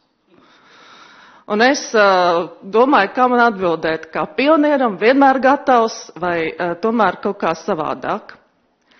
Mēs nevaram būt gatavi. Mums šodien bija sazvans ar Izraels kolēģiem, eh, kuri pirmo reizi pasaules līmenī, šodien tur bija daudz itāļu, Kipras pārstāvju, portugāļu pārstāvju, lietuviešu, igauņu mēs, eh, publicēja un atklāti runāja par to, kas tieši notika 7. oktobrī un kā tas izskatījās no iekšpuses. Nevis ziņās, bet reāli, ko darīja mediķi, ko darīja veselības aprūpas sistēma, kādi bija viņu izaicinājumi un kā tas viss notika. Es tiešām lielās pārdomās pirms šī ļoti sakrita šī, šis pasākums sev pajautāju, vai tad, ja Izraēlas mediķiem dienu iepriekš kāds pajautātu par to, ka viņiem nākamajā rītā būs 3000 cietušie un 1000 mirušie, paprasīt, vai tu tam esi šodien gatavs. Es gribētu redzēt, kurš pateiktu jā, visdrīzāk nē, tādam gan mēs neesam gatavi un vispār tas nav reāli. Bet jāsaka, ka tas, ko viņi rādīja, jā, kā viņi divās dienās šo situāciju faktiski nokopa, tādā vienkāršā valodā runājot, bija kaut kas fantastisks. Ļoti daudz atziņu, ļoti daudz mācību.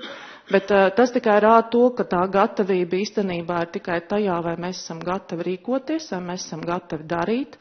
Vai mēs esam tādi, kam, kas māk un zina to, kas viņam jādara, kas ir trenējušies, bet galvenais, cik daudz mūsu apziņā ir šī gatavība, un tad tālāk mazāk daudz nozīmes ir visam pārējam. Ticiet man, īstās krīzēs lieli plāni pārstāj strādāt. Es to varu noteikti par sevi pateikt, bet tas, kas izvāk lielas krīzes, ir tieši kopīgs darbs, sadarbība, lēmumu pieņemšana, nebaidīšanās no izaicinājumiem, un es domāju, tas arī ir tas mūsu gatavības kods, pie kura mums ir jāstrādā un ar ko mums ir jādarbojas. Ko tad NMPD darīs X stundā? Es jau teicu, mēs darīsim to pašu. Mēs strādāsim un pildīsim savu misiju glābt un saglabāt cilvēku dzīvības. Īstenībā krīzē e, ir īstais laiks turēties pie misijām, jo tajā laikā vienīgā vīzija ir pārvarēt krīzi. Un mums tā ir ļoti spēcīga. Es domāju, ka tikpat spēcīga tā ir nacionāliem bruņotiem spēkiem, valsts ugunsdzēsības glābšanas dienestam, bet arī katram cilvēkam faktiski vēlreiz jādomā, ko es daru ikdienā, kas ir tas vērtīgais, ko es varu dot valstī. Un jūs labu jautājumu uzdevāt, ko darīsiet ar tiem vientuļiem cilvēkiem. Ticiet vai nē, viņus izglābs sabiedrība, kas, kam nebūs viena alga, Eh, un es to atklāti saku, kāda cita vietā atbild uz jautājumu. Un jā, šodien mēs varam padomāt, eh, vai es spēšu atbildēt par šo vientuļo cilvēku x stundā, es par viņu neaizmirsīšu, es pie viņa aiziešu, un ja es pats nevarēšu viņu nonest, tad es aiziešu kur, eh, kādam pateikt, ka tāds cilvēks kaut kur atrodas. Tā ir tā rīcība. Jo sagaidīt, ka būs saraksti ar cilvēkiem, lokācijām un kāds no dienestiem, kam būs papildus funkcijas x stundā, ir tiešām nepareizi. Un es vēlreiz runāju, šeit mēs nerunājam par ikdienas rutīnu, kad jūs varat prasīt no dienestiem ārkārtīgi daudz, bet mēs runājam par x stundu, kad mainās absolūti visi noteikumi. Un faktiski lielu daļu visas gatavības iznes tieši sabiedrības kopējā gatavība, nevis atsevišķu dienestu gatavība. Tas, kas būs mūsu pirmais atšķirīgais uzdevums, mēs sniegsim atbalstu NVS un NATO partneriem, kas dosies uh, fronts līnijās un darīs savu darbu aizstāvēs valsti. Eh, tas ir ļoti būtisks uzdevums, jo šeit neatradīsies neviens NATO karavīrs, ja viņš nebūs pārliecināts, ka viņam tiks nodrošināta medicīniskā palīdzība un ka viņš drīkst eh, doties kaujā droši. Ja nu kas gadās un karavīriem gadās, eh, tad viņam tiks nodrošināts vislabākais, kas var būt. Tad cietušais tiks izvests no kaujas lauka un nogādāts drošā vietā ārstēšanai. Un tā ir ļoti būtiska misija, un ticiet vai ne, man nav papildus brigāžu, ko nodrošināt NATO karavīriem vai mūsu Nacionālo bruņoto spēku karavīriem, mēs to darīsim ar tiem pašiem resursiem un iespējams mazākiem, visdrīzāk mazākiem, jo krīzes rāda, ka daudzi neiztur un nespēja turpināt darīt to, kas viņiem jādara, bet daudz kas rāda, ka tie, kas paliek, tie parasti tiek galā. Tātad, jā, mūsu resursi tiks sadalīti un nodalīti, un mēs dosimies, strādāsim pēc civil-militāriem algoritmiem, atbalstīsim karavīrus. Otrs nopietns jautājums šodien jau parādījās. Tātad mēs nodrošināsim evakuāciju ārstniecības iestādēm. Ļoti nopietns uzdevums. Te var būt pat vairāku simtu pacientu pārvešanas, plānoti, saskaņojot ceļus, evakuācijas ceļus, tāpēc, ka notiek nu, jā, ir saucamie tie ceļi, kad mums jāskatās uz dekonfliktāciju, mums ir jāparedz iespējas, ka mēs to varam darīt tikai naktī, nu, var sakot, tur ir virkni dažādu plānu, kas mums ir jāievēro, un arī šiem procesiem mēs gatavojamies, un tur mēs atkal novirzīsim tos pašus resursus, ar kuriem mēs šodien dodamies izsaukumos. Papildus resursu nebūs. Uh, Jā, iespējams, cilvēks strādās virsstundas, mēs izveidosim noteikti papildus brigādes, bet tās būs savādākas nekā tas ir šodien. Iespējams, citā sastāvā strādās ne trīs, ne divi, varbūt pat viens bet mēs mēģināsim izdarīt visu, lai nodrošinātu pacientu evakuāciju no slimnīcām uz drošākām slimnīcām, un tātad šis arī būs viens mūsu papildus uzdevums. Mēs noteikti turpināsim sniegt neatliekamo medicīnisko palīdzību kritiskās situācijās. Es uzsvaru vārdu kritiskās situācijās, tāpēc, ka es esmu tas cilvēks, kas jau vairākus gadus no vietas runā par to, ka dienests tiešām tiek piesaistīts ne tikai kritiskās situācijās, bet jebkādās situācijās. Un uh, tas ir liels uzsvars, jo es vēlāk arī runāšu par to, uh, ko tas nozīmē un kā tas mainās priekš sabiedrības, un lai sabiedrība jau šodien zina, uh, ka x stundā noteikumi ir mainījušies un kā tie ir mainījušies. Ārkārtas situācijā izsaukumi un pacienti tiks šķiroti vēl sirsnīgāk, ja tā var teikt. Un uh, ir da, būtiski uh, principi, pēc kuriem darbojas miera laiku medicīna. Miera laiku medicīna darbojās pēc principa, ka mums ir pietiekami daudz resursu, lai izglābtu cietušos. Uh, mēs glābjam dzīvībai bīstamos cietušos, darām visu, lai cilvēks izdzīvotu, arī no visbezcerīgākajām situācijām, tad strādājam un novirzam šim vienam varbūt cietušajam pat vairāk resursus. Uh, nekā vajadzētu.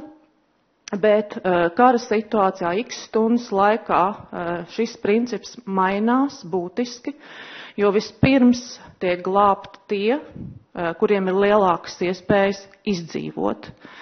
Tātad, jā, mums ir jāatzīst, ka šis princips x stundā ieslēdzas un ir ļoti atklāts sabiedrībai par to jārunā. Mēs bijām tuvu, ļoti tuvu šādam principa ieslēgšanai Covid-19 laikā. Toreiz arī bijām tuvu tam, ka resursu nebūtu bijis, un mēs jau varētu sākt pieņemt lēmumus par to, kuru pacientu glābt un kuru tomēr nē. Eh, tā kā mēs esam bijuši tam tuvu, bet neesam to piedzīvojuši, bet šie noteikumi būtiski mainās. Un galvenais mērķis šim visam ir izglābt un saglabāt pēc iespējas vairāk cilvēku dzīvības.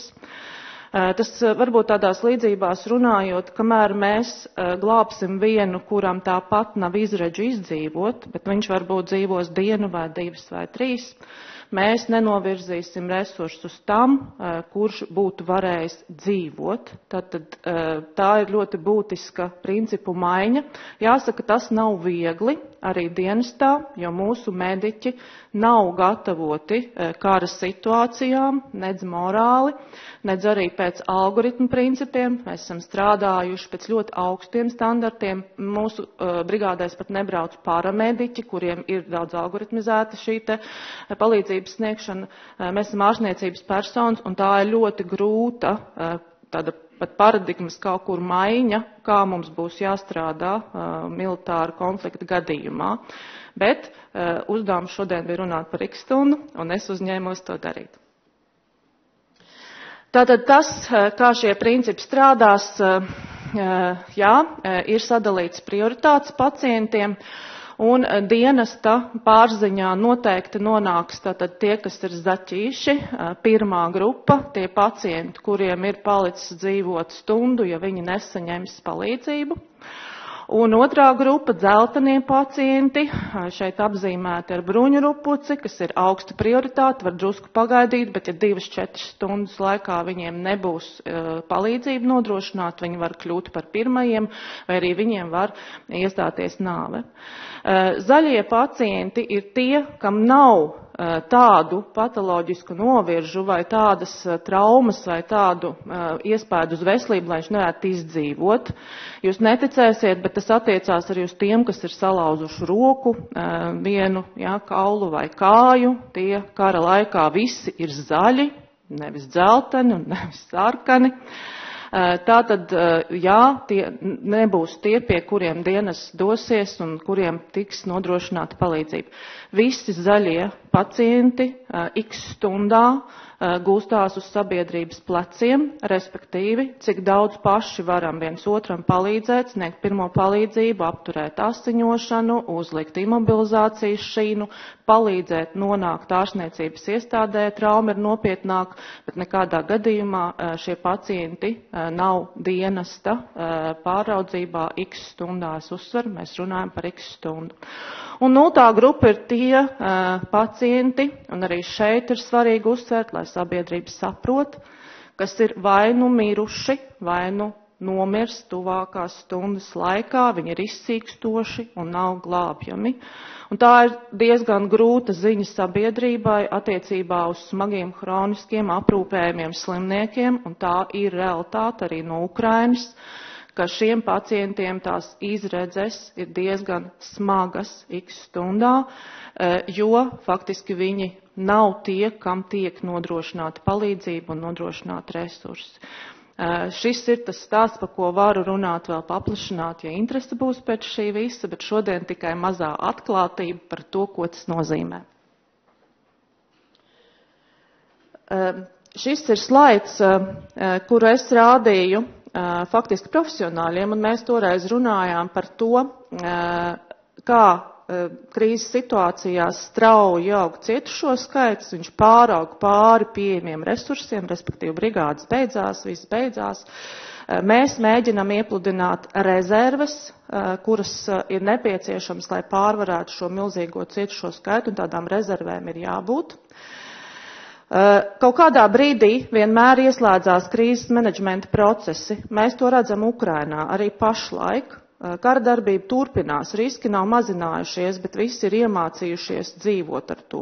Vislielākie eh, izaicinājumi patiešām visur ir šīs te pirmās 72 stundas un varbūt pirmie mēneši, cevišķi tik liela mēroga notikumam, kura laikā veidojās haoss vienmēr. Un, un tu nevar gaidīt kārtību, jo neviens nezin, kā viņš reaģēs, vai viņam pietiks emocionālā spēka, vai viņam pietiks resursu, kur tieši viņš atradīsies, vai viņš būs pirmais, kuram trāpīs pa māju, vai viņam paveiksies, un viņš redzēs, kā tas notiek kaimiņam. Mums jāsaprot, ka x stunda maina noteikums, Un uh, rezerves ir tas, par ko uh, mēs runājam visvairāk, lai mums tāds būtu. Uh, valsts līmenī mēs pie tā strādājam. Ja mēs runājam par iedzīvotājiem, tad tās ir tās rezerves, kurām ir jābūt arī katra iedzīvotāja rīcībā. 72 stundu soma nav nekas abstrakts. Tad, kad eh, notiek eh, liels notikums un ir eh, vajadzīgi konkrēti priekšmeti jūsu mājā, jūs nevarat skraidīt pa visu māju, meklēt dokumentus, pēc tam jūs skraidat meklēt lukturīti, pēc tam saprotat, ka lukturītim nav baterijas, pēc tam atceraties vēl kaut ko. Ir ļoti svarīgi, kad šādu krīžu gadījumam jums ir absolūti noformēta uh, kaste vai soma vai vieta, kur viss atrodas un kur jūs to varat atrast. Jo tajā stresā, kad tas viss tiešām notiek, jūs neko neatcerēsieties un pusi nepaņemsiet. Atcerieties, bija tas stāsts, ka uz Sibīriju aizbrauca balvas kurpēs un kā tur vēl bija. Ja? Cilvēki, kas stresā vienkārši nesaprata, kas viņiem ir jāizdara. Nu, un tad paliek jautājums, ko darīsiet jūs, katrs, ja mēs visi kopā piedzīvotu šādu x stundu. Vispirmām kārtām es jau runāju, cik būtiski ir prast un spēt sniegt pirmo palīdzību. Diemžēl man jāsaka, Latvijā nav laba situācija ar pirmās palīdzības sniegšanu. Mēs to redzam dienestā katru dienu kad no rīta tiek pieņemti ziņojumi par to, cik cilvēki ir nomiruši pie pēkšņas, eh, pēkšņām sāpēm krūtīs vai arī pie politraumām. Eh, biežākais komentārs no galvenā dežūrāšta ir pirmās palīdzības pasākumi notikuma vietā netika uzsākti vai netika veikti. Šis ir ļoti būtiski arī X stundai, pie kam ne tikai runājot par dzīvības izglābšanu, bet patiešām to, ka mēs zinām, ko darīt ar satraumētu roku salauztu vai iegrieztu pirkstā vai lielu brūci, kurai nav dzīvībai bīstama asiņošana un tomēr tā ir dziļa un nopietna, ka mēs zinām, kā sniegt pirmo palīdzību. Un es zinu pati, kādreiz par to esmu domājusi, kāda bija mana attieksme, kad es liku šoferu tiesības un gāju pirmās palīdzības kursu. Man tas bija jāizdara tāpēc, ka man vajadzēja tiesības. Nu, tāda bija mana jaunības attieksme. Eh, es domāju, ka tāda bija daudziem, un tikai šodien, skatoties uz to visu atpakaļ, es saprotu, cik liela nozīme tam, ka es zinu, ko darīt, Un e, cik liela nozīme, ka es biju kādreiz to kaut vai dzirdējusi un mācījusies tomēr medicīnu, jo man dzīvē ir nācies glābt dzīvības, ir nācies imobilizēt rokas vai kājas un uh, nogādāt pacientu ārstniecības iestādē. Man ir trīs puikas, es nereizi neesmu saukus neatliekamās palīdzības dienestu, uh, kad viņi ir guvuši lūzumus ekstremitātēm. Tātad tā ir ļoti būtiska uh, atšķirība arī sabiedrību domāšanai par x stundu. Eh, un te ir tāds tikai piemērs, ka mēs katru dienu uh, saņemam izsaukumus, kuros cilvēki norāda, ka viņiem vienkārši mājās nav termometra. Viņam šķiet, ka viņam ir temperatūra, bet viņš nezina, cik liela, un tagad viņš ir piezvanījis 113, uh, glābiet. Vai man beigušās zāles, kuru gan tas interesēs x stundā par zālēm. Man tagad ir temperatūra 38, ko man tagad darīt? Pareizi teica kolēģe, nezvaniet uz ne, tādiem dienestiem, sevišķi nopietnu krīžu gadījumā. Pirmais, kas jums jādara, jāmēģina tikt galā pašiem. Un tikai tad, ja visas iespējas tikt galā pašiem ir izsmeltas, tad zvanīt dienestiem un meklēt palīdzību. Uh, jā, iegriezt pirkstā un viss pārējais. Uh, mums ir arī uh, arsenālā kāmīšu dzemdības.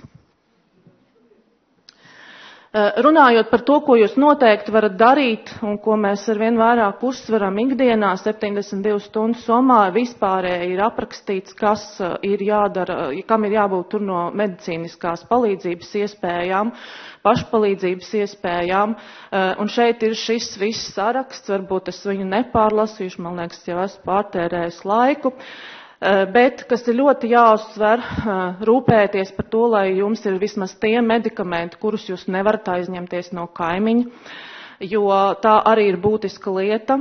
Krīzes parāda, kad, protams, viens parūpējās par savu aptieciņu, otrs neparūpējās, tad, protams, marlis saita var skriet pa ciemu meklēt, bet ja jums ir specifiski medikamenti, tad tos jums kaimiņš neiedos, un, diemžēl, tas var ietekmēt jūsu iespējas ik stundā izdzīvot triviālu iemeslu dēļ, jūs vienkārši nevarat lietot savus ikdienas medikamentus, un tāpēc jūsu stāvoklis pasliktinās, un jūs varat zaudēt dzīvību, jo dienesti ir eh, nepieejami. Un eh, iesdvesmai uz beigām, lai nebūtu tik depresīvi, eh, gatavība sākas ar mums, ar katru cilvēku, kurš sev atklāti pasaka, ka gatavoties x stundai vai gatavoties tam, ka arī manā mājā var būt ugunsgrēks vai arī vēl kaut kādām lietām, vēl nenozīmē fatāli paļauties liktenim, tieši otrādi. Eh, man tiešām tas Somijas piemērs vienmēr ir fascinējis eh, ar to, kā viņi runā par gatavošanos un ka arī iešana militārā dienestā nenozīmē, cik grūti manam puikam tur būs, bet tas nozīmē, ka mans puika būs gudrāks par tiem, kas armijā nav aizgājis, viņš zinās, kā izdzīvot, viņam būs praks, prasmes un iemaņas, kas nepieciešams, lai izdzīvot, un mani kā mātei tas ļoti svarīgi. Tāpēc mani puikas ies armijā, eh, un arī jūs visus aicinu domāt par to, kā celt mūsu kopīgo gatavību. Paldies! Paldies! Paldies, it sevišķi par pēdējo piebildi. Ehm, mums jautājumi anonīms raksta. Paldies par jūsu darbu. Jūs esat fantastiski laba NMPD vadītāja. Un eh, jautājums pēc tam seko, vai x stundā NMPD nāks palīgā resursi no citām valstīm? Jāsaka tā, ka visdrīzāk mūsu X stunda būs saistīta arī ar X stundu citās valstīs un noteikti notiks arī kopēji mobilizēšanās procesi. Es kaut kā nedomāju, ka izolēti tas notiks tikai Latvijā. Ja tas vispār notiks, tas būs pietiekami plaši. Ir mehānismi, caur kuriem var pieteikt atbalstu un palīdzību. Visdrīzāk no resursu puses, jā, mēs lūksim gan medikamentus, gan ierīces, gan vispārējo ar personālu ir nedaudz sarežģītāk, bet arī tādas iespējas tiek apspriestas. Tas, ko dienas noteikti darīs, mēs izmantosim gan tos cilvēkus, kas ir devušies izdienas pensijā, mēs arī Covid laikā viņus aicinājām atpakaļ mūsu komandās, mūsu vidū strādā studenti, brīvprātīgie. Uh, tas, ka mēs mēģināsim kāpināt mūsu iespējas, un lai tās brigādes būtu vairāk, un lai mēs varētu pēc iespējas vairāk nodrošināt tos uzdevumus, kas mums ir uzdoti, jā, bet uh, tā, ka personāls ārsti brauks šeit un strādās, varbūt pēc pāris nedēļām viņi ieradīsies, bet tās pirmās dienas mums jāturās būt pašiem. Paldies. Kā varētu sekmēt iedzīvotāju gatavību ar pirmo palīdzību, lai NMPD vieglāk krīzē? Ir kādas labas pieredzes? Eh, galvenā pieredze tas, ka katrs jau šodien var atrast no 31 vietas, kur var uh, iegūt pirmās palīdzības apmācības, uh, doties un to vienkārši izdarīt, vai ieplānot to līdz gada beigām izdarīt, vai kā jaunā gada apņemšanos. Jo vairāk cilvēki iziet šo kursu, jo lielāka iespēja. Un, protams, tie, kas ir izgājuši kursu, ir arī uh, daudz motivētāki tiešām iesaistīties palīdzībā. Visbiežāk, kāpēc cilvēki nesniedz pirmo palīdzību, viņi baidās, jo viņi nezin, viņi tikai redzējuši šie video. Ticiet man, pirmo palīdzību var iemācīties tikai praktiski darot, mācoties, un tad, ja tu to esi darījis kaut vienu, divas, trīs reizes mācībās, tad tu to varēsi izdarīt arī īstajā dzīvē. Tāpēc vienīgā iespēja ir mācīties.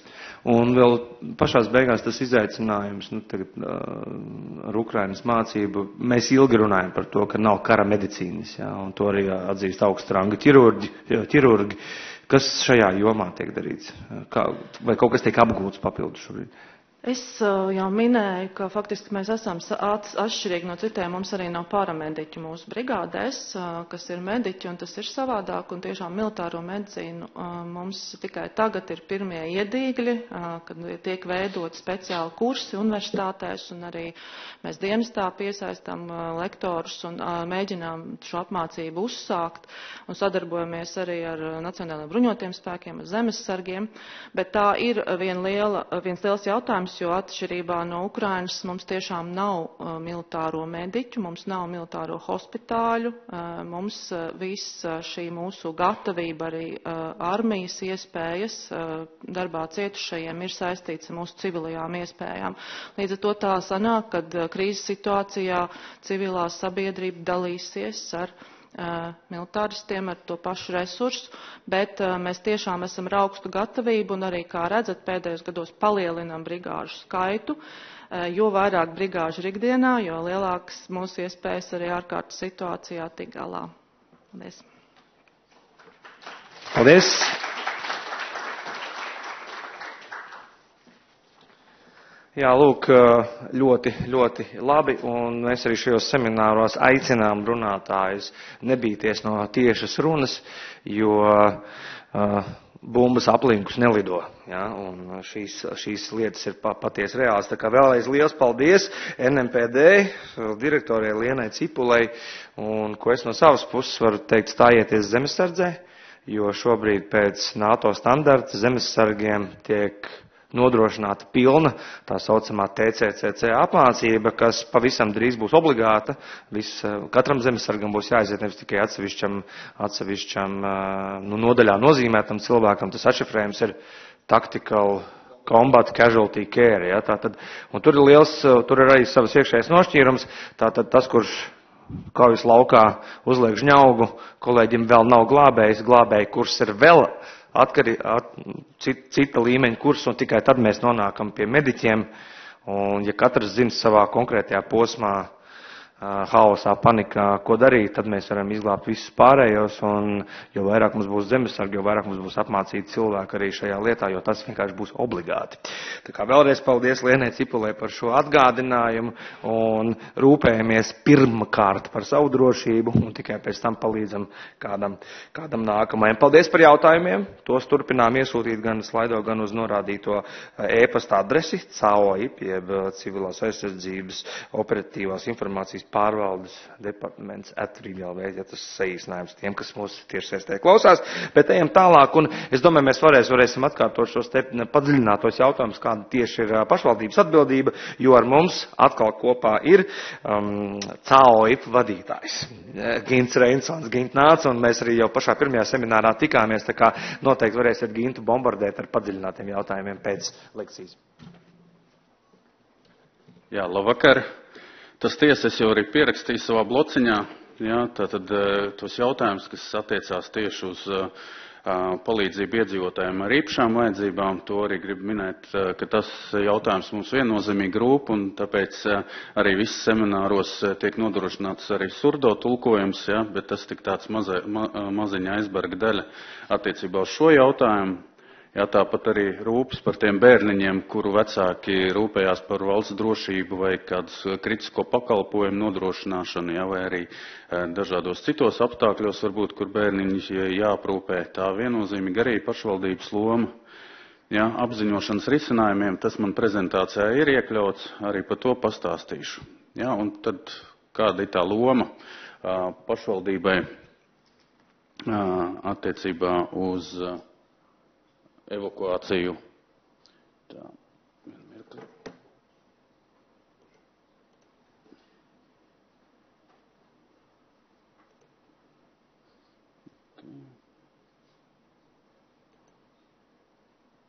Mhm. Jā, evakuācija un individuālā uh, drošība. Šajā gadījumā nu, pašvaldībai vairāk sanāk tā, ka evakuācija un evakuācijas procesi un kolektīvā drošība. Ja, un tad uh, pirmais, ko gribu minēt, uh, attiecās tieši uz to, kad iepriekšējās teiksim, semināros, kur mēs minējām dažādus šos 25 galvenos punktus, ko, kurus bija jāņem vērā attiecībā uz to, kā rīkoties x stundā, tieši par evakuāciju bija pāruns un, un, un par pašvaldībai jau ir pieredze, valsts struktūrām ir pieredze ar evakuāciju un tā izpaužās šādos notikumos.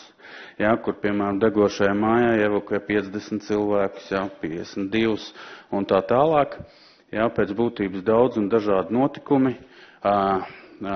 Šeit ir vairāku gadu griezumā, jā, kur mēs pasakam to, ka pēc būtības nu, evakuē no daudz dzīvokļu mājām, pēc degšanas, pēc kāda sprādziena, pēc nepareizi eksploatētas sēkas vai teiksim, tur, kur nav parūpējušies vai par jumtu vai par pagraba pārsagumu vai kādām citām lietām.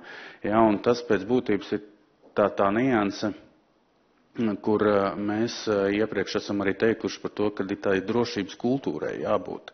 Ikdienā miera laikos tai drošības kultūrai, teiksim, ir tik liels nozīme nepieļaut, teiksim, vispār šādu nu, nelielu ārkārtas situāciju vispār iestāšanos kā tādu. Ja, saulēcīgi parūpēties ugun, par ugunsdrošības jautājumiem, par darbdrošības jautājumiem, uh, Jā, un tad, protams, nāk pa virsu tie tā, tā, tā kā cepurīti, jā, teiksim, visam ir tieši tā gatavības kultūra, ja nu tomēr, kaut arī es, mani kolēģi, mani ne, radi vai, vai kaimiņi ir pa, drošības kultūru ievērojuši, bet tik un tā tie ārkārtas apstākļi um, iestājās, ja, lai mēs būtu gatavi arī sevi, sevi un sev līdz, uh, līdzesošos, kā saka, pasargāt. Nu, lūk. Tad, um, jā, ārēji apstākļi, jā, to, ko mēs redzam uh, Ukrainā, uh, un, un šeit paņēma tieši uh, bildes nedēļu vecās, tas, kur bērndārs, tas ir divu nedēļu vecais, bet tirzniecības centrs, jā, tas pavisam nesen. Jā, tā, tā viennozīmīgi aspekts, kurš ir jāņem vērā. Uh, kuru tieši bija tikko pārnājām par to, ka vai tiešām tas um, slimnīcas, bērndārzi, skolas ir tādas drošas vietas, kur, kur sev pasargāt. Ja, un, un mēs saprotam to, ka karš ir tik nežēlīgs, ja, un ir sevišķi agresors, ja, kad viņš, viņš pat nešķiro, vai tā ir kritiskā infrastruktūra, ja, vai tur ir militāra personāls, vai, vai arī teiksim, civilpersonas. Ja, tā kā uzbruktam ar to mums viennozīmīgi jārēķinās, bet neskatoties to, mums ir jāizmanto tā infrastruktūras daļas, kuras mums pieejams. Nu jā, Es ne, neieslikšu šajā jautājumā, jo tieši kolēģi jau no valsts ugunsdzēsības glābšanas dienas to ļoti labi aprakstīja, pastāstīja par apziņošanu, ka viss sākās tiešām ar valsts apziņošanas sistēmas iedarbināšanu, jā, ar, ar informāciju plašsaziņas līdzekļos. Ja, un tālāk jau no, no tās iegūtās informācijas sākās mūsu rīcība. Ja, gan pašvaldības, gan individuālā līmenī, gan valsts struktūra līmenī. Ja, tad esošās trauksmes sirēnas Rīgā. Ja, un, un šis ir tas optimālais trauksmes sirēna pārklājums, kādu mums gribētos, ņemot vērā to, ka, kāda ir teiksim, tās apdzīvotās teritorijas, iedzīvotāju blīvums uz kvadrātu kilometru, Jā, bet, protams, nu, viens ir, ko mēs vēlamies, otrs ir, teiksim tā, ka, kā mums līdzekļi to atļauj un cik ātri valsts var šo apziņošanas tīklu attīstīt. Un, un labi, kad ir alternatīvie risinājumi, jā, kā, kā kompensēt šobrīd varbūt tās infrastruktūras nu, ne, nepilnīgo to pārklājumu.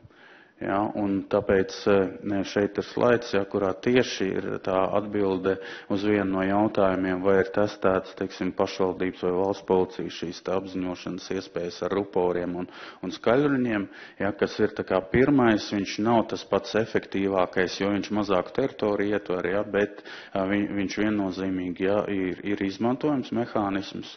Ja, kāpēc es, es iezīmēju viņu no dzeltena, nu, iekrāsoju esat dzeltena tieši tāpēc, ka viņam tā, tas pār, pārklājums nav tik, tas tvērums tik liels. Tad viennozīmīgi mobilās aplikācijas, tas ir pašvaldību līmenī attīstāms, bet viennozīmīgi izmantojam 112 aplikāciju, kas ir ļoti superīgs starts visam, lai turpinātu. Mobīlie sakari var būt kompromitēti un tāpēc mums jāmeklē citi risinājumi, kā rācija ja, dažādi interaktīvie risinājumi lokālos apziņošanās, ja, teiksim, iezīmējot noteikts teritorijas, šūna apraide, tas viennozīmīgi valsts līmeņa risinājums. Ir valstis, kurās arī pēc tam, kad valsts ir ieviesuši šo risinājumu, dod iespēju caur to interaktīvo risinājumu arī šūnas apraides apziņošanas mehānismu izmantot vietējām, nu, tad, tad pašvaldībām, nu, un, protams, ir Starlinks, kurš ir ļoti aktīvi tiek izmantots tātad Ukrainā, un Starlink risinājumi ir pieejami tātad privātu personām, jā, kas arī tie, tiek aktīvi tur, tur izmantots, ne tikai militāristiem, jā, un Starlinks nodrošina mobīlos datus un saziņu. Jā, nu, tad eh, jau par to evakuācijas eh, procesu, militāru iebrukumu vai tā draudu gadījumā jāmin tas, ka eh, viennozīmīgi iedzīvotāju apziņošana sāksies valsts līmenī, jā, un pēc tam jau pakārtoti visas pārējās struktūras iesaistās un pašvaldība. Jā, pašvaldība to nodrošinās maksimāli ar tiem iespējamiem miera laika apstākļiem, bet ja nu gadījumā kaut kas notiek ar internetu vai ar, ar teiksim, datu apraides ātrumiem un viņi traucēti, jā, tad, tad viennozīmīgi mums jau jāizmanto mūsu pulcēšanās evakuācijas punkti punkti, ja, un, un arī apkaim iedzīvotāju centri, ja, kurus, kur, kur tad eh, klātienē vismaz iegūt informāciju, ja gadījumā to nevar tiešsaistē panākt.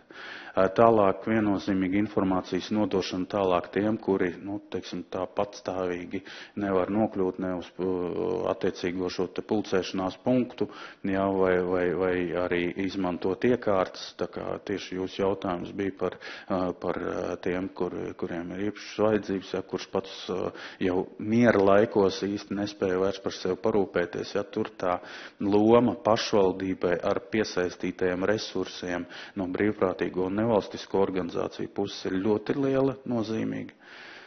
Jāņem vērā to, ka arī militāra apdraudējuma gadījumā pašvaldībai ir jāizvērtē savas kritiskās funkcijas un līdz ar to arī resursu sadali. Protams, kad karš sākās, tad diezin vai mēs vairs uz to brīdi, vismaz sāsinājuma brīdi, kultūras pasākumu apstājās, ja, teiksim, un, un, un, un, un kaut kādu sporta pasākumu līdz ar to tie cilvēku resursi atbrīvojās un mēs viņus varam novirzīt tieši šādu uzdevumu izpildē. Jā. Nu, lūk, un tad, tad jau tālāk ir tieši šīs te evakuācijas process, ja, kur, kā arī kolēģi minēja iepriekš, ja, dekonfliktēt, lai nebūtu tā, ka mēs izmantojam tos ceļus, tos, tos nezinu, citus infrastruktūras elementus, kur, kas ir vajadzīgs militāru personām, ja, vai arī saulēcīgi painformēt, kad attiecīgie ceļi jau vairs nav caurbraucami. Saulēcīgi pašvaldībai jāatbrīvo tie evakuācijas ceļi, ja tur ir saskrējušies transporta līdzekļi. Ja, un te tā individuālā līmenī e, ir jābūt tam, ka nu, nevar būt tā haotiski, nu, jāmēģina ievērot tā, tā kultūra arī tanī brīdī stresa līmenis, lai, nu, kad ir augsts, ja, un, un saprātīgi, nevajag tur apdzīt visus pēc kārtas, ja, ir jāievērot, lai, lai nebūtu tā saskriešanās un pēc tam cerēt un gaidīt, ka policija atbrauks un, un tās švīkas pieregistrēs, ja gadījumā transporta līdzekļi saskrējušies. Tas tā. Nu, lūk, jā, tad eh, viennozīmīgi, jā, eh, mēs paļaujamies uz valsts civilās aizsardzības operacionālās vadības centra dotajām norādēm un atbilstoši tām arī tālāk jau plānojam evakuācijas ceļus, izmitināšanas punktus, izvairamies no kādiem varbūt eh, mums ir reģistrēti daudz jau šobrīd pulcēšanās punkti mūsu civilās aizsardzības plānā, bet daži no tiem iespējams tik pateiks, ka labāk to ne, neizmantot, ņemot vērā apdraudējumu tipu. Ja, un tad viennozīmīgi pārtiks pirmās nepieciešamības preces izdevas punktu noteikšanu. Un, un te ir viena nianses, kur mēs viennozīmīgi gan individuālā līmenī, gan, gan valsts līmenī šobrīd pie tā strādājam, kā noteikt pašvaldībai, uzņēmumiem, kas ir tā 72 stundu gatavība, jeb tā 72 stundu soma priekš pašvaldības. Cik tad, vai tad tās ir tās trīs dienas ēdināšana un pirmās nepieciešamības preces, ja, vai nedēļa, divas, ja, līdz, teiksim, ieslēgtos kaut kādas citas loģistikas ķēdes, jo ko jau mēs zinām un ar ko mums jārēķinās, ka haotiskā izpirkšana veikalos var, var pastāv, Ja, to Covid ļoti labi parādīja, to parāda arī konflikts, tātad karš Ukrainā, ja, ka tiešām ir noteikts šīs preces un produkti, ja, kurus pirmajās, teiksim, tajās dienās tiek vienkārši, ne dienās, stundās, ja, tiek izpirkti tukši plaukti. Ja, un, un te mums ir tiem aizsardzības mehānismiem jābūt, ja, jābūt ir tām rezervēm un uz noteiktu laiku Šobrīd nav vēl pagaidām normatīva akta, kurš pasaka precīzi, bet starptautiskā pieredze parāda to, ka, teiksim, Zviedrijā tās ir šobrīd jau noteikti septiņas dienas pašvaldības un valsts līmeņa organizācijām. Norvēģijā ir polārā loka 14 dienas. Ja, nu, tā kā tur labi, es saprotu, sezonāli apstākļi liek tādā veidā plānot, jo aiz polārā loka ļoti tur mēdz, kā saka, sasniegts sniegs tā, ka tur pa sauzem vispār loģistikas nekādas. Jā, bet nu, pie, pie tā mums ir jāstrādā, un to arī mēs darām. Tad ir lūk tie pulcēšanās punkti, šobrīd 59 publicēti mūsu civilās aizsardzības plānā, un kartējot viņi izskatās šobrīd šādi, tā kā pēc būtības ir katrā apkaimē identificēts, bet tas viennozīmīgi nav gala produkts, un te man ļoti patikās, kā Cipuls kundze minēja, ja, ka tā gatavības kultūra, tas ir process, mēs paši mācamies, mēs uzklausam arī visu, teiksim, gan starptautisko pieredzi, gan Ukraina, nu, teiksim, Ukraina, gan arī uh, apkājiem iedzīvotāju centru un aktīvistu arī pamatoto kritiku, jo, nu, pēc būtības, ma, uh, nu, mēs neesam saņēmuši šo militāra apdraudējuma vai kara gadījumā šo, šo mm, gatavības kultūras mantojumu, ja, mēs viņu veidojam šobrīd kopā ar jums, ja, tā kā sākam no tā, kas mums ir. Un, un viennozīmīgi tas tīkls paplašināsies, jo es parādīšu, ka, kur ir tas potenciāls visā šajā sadaļā. Šīs ir padomu laikā lielākā daļa celtās bumbu patvērtnes Rīgā, jā, bet ir viena nianses. Šīs ir privātās. Jā, viņas ir privatizētas, viņas ir daudz dzīvokļu māju pagrabos, jā, atsevišķi skvēros, rūpniecības teritorijās un tādā garā. Un tagad paskatieties, cik pašvaldībai piedar no viņām. Ja, tā kā jūs saprotiet, ka nu, pašvaldība gribēdam, ja nevarēs, kā saka, ar, ar īstajām bumbu patvērtnēm nodrošināt visiem patvērumu, bet mēs meklējam, un, un labi, kad ir 4. martā apstiprinās tās vadlīnijas par patvērumu vietu izveidi, ja, un, un, un, un, un līdz ar to, ko tas nozīmē būs patvērumu vietas veidosim un meklēsim viņas publiskajās telpās, kā tuneļos, pazemes autostāvvietās, pašvaldības iestāžu pagrabos, cokolstāvos, ne cokolstāvos, bet pagrabos un pazemes stāvos. Ja, un, un, protams, pašvaldības un kapitāla sabiedrība bumbu patvērtnēs, un, protams, gaidām šo iniciatīvu no ministrijām par līdzfinansējumu iedzīvotāju tieši īpašumu sakārtošanai. Nu, lūk, jā, vadlīnijas apakšā tur tās ir publicētas viņas valsts ugunsdzēsības glābšanas dienestā. Nu, lūk, un rekur ir tas potenciāls. Šīs ir skolas, administrācija, pašvaldības administratīvās ēkas, kurās, nu, kuras, tātad, jā, pašvaldība pārvalda, un mums līdz ar to viņās jāizvērtē, tas process notiek, jā, un te mēs redzam to salīdzinājumu, jā, kas šobrīd ir identificēts un, un, un kur potenciāls gulstās. Um, ir tā, ka to, ko mēs mēģinām darīt, panākt to, lai pat pulcēšanās punkts būtu arī vismaz īslaicīgās uzturēšanās punkts, lai arī tajā punktā būtu iespēja patvērties, jā, tātad, lai tur būtu patvērne, nu, un ideālā uh, situācijā, ja tur arī būtu tātad noliktava pirmās nepieciešamības precēm, pārtiks precēm. Uh, Tas nenozīmē, ka katrā tādā objektā šie četri punkti būs iekšā, jā, bet uh, uz, tas ir tāds virsmērķis, un tas būtu tā kā, tad mēs varētu gradāciju ieviest šiem objektiem. Jā, teiksim, nu, tāds labais, pirmā līmeņa, pieņemsim, jā, objekts, kurā ir visas šīs četras funkcijas, un varbūt tunelis tīri patvērums, jā, bet viņam, nu, nav nekas cits. Tā. Tad, uh, pie, eh, no eh, maijā eh, tātad gūtās pieredzes Kijevā.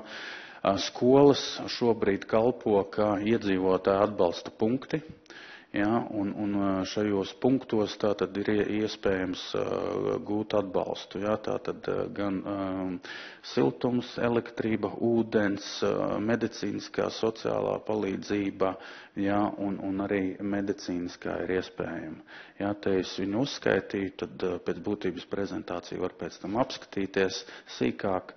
Jā, es, es virzīšos tālāk, vienīgi pie tā sestā punkta nedaudz pieturēšos, un tā, man liekas, mums šobrīd visā Latvijā tāds izaicinājums, ja, kad, lie, ko viņi ir panākuši, kad ēdiena pagatavošana notiek uz vietas, tātad skolās un bērndārsos.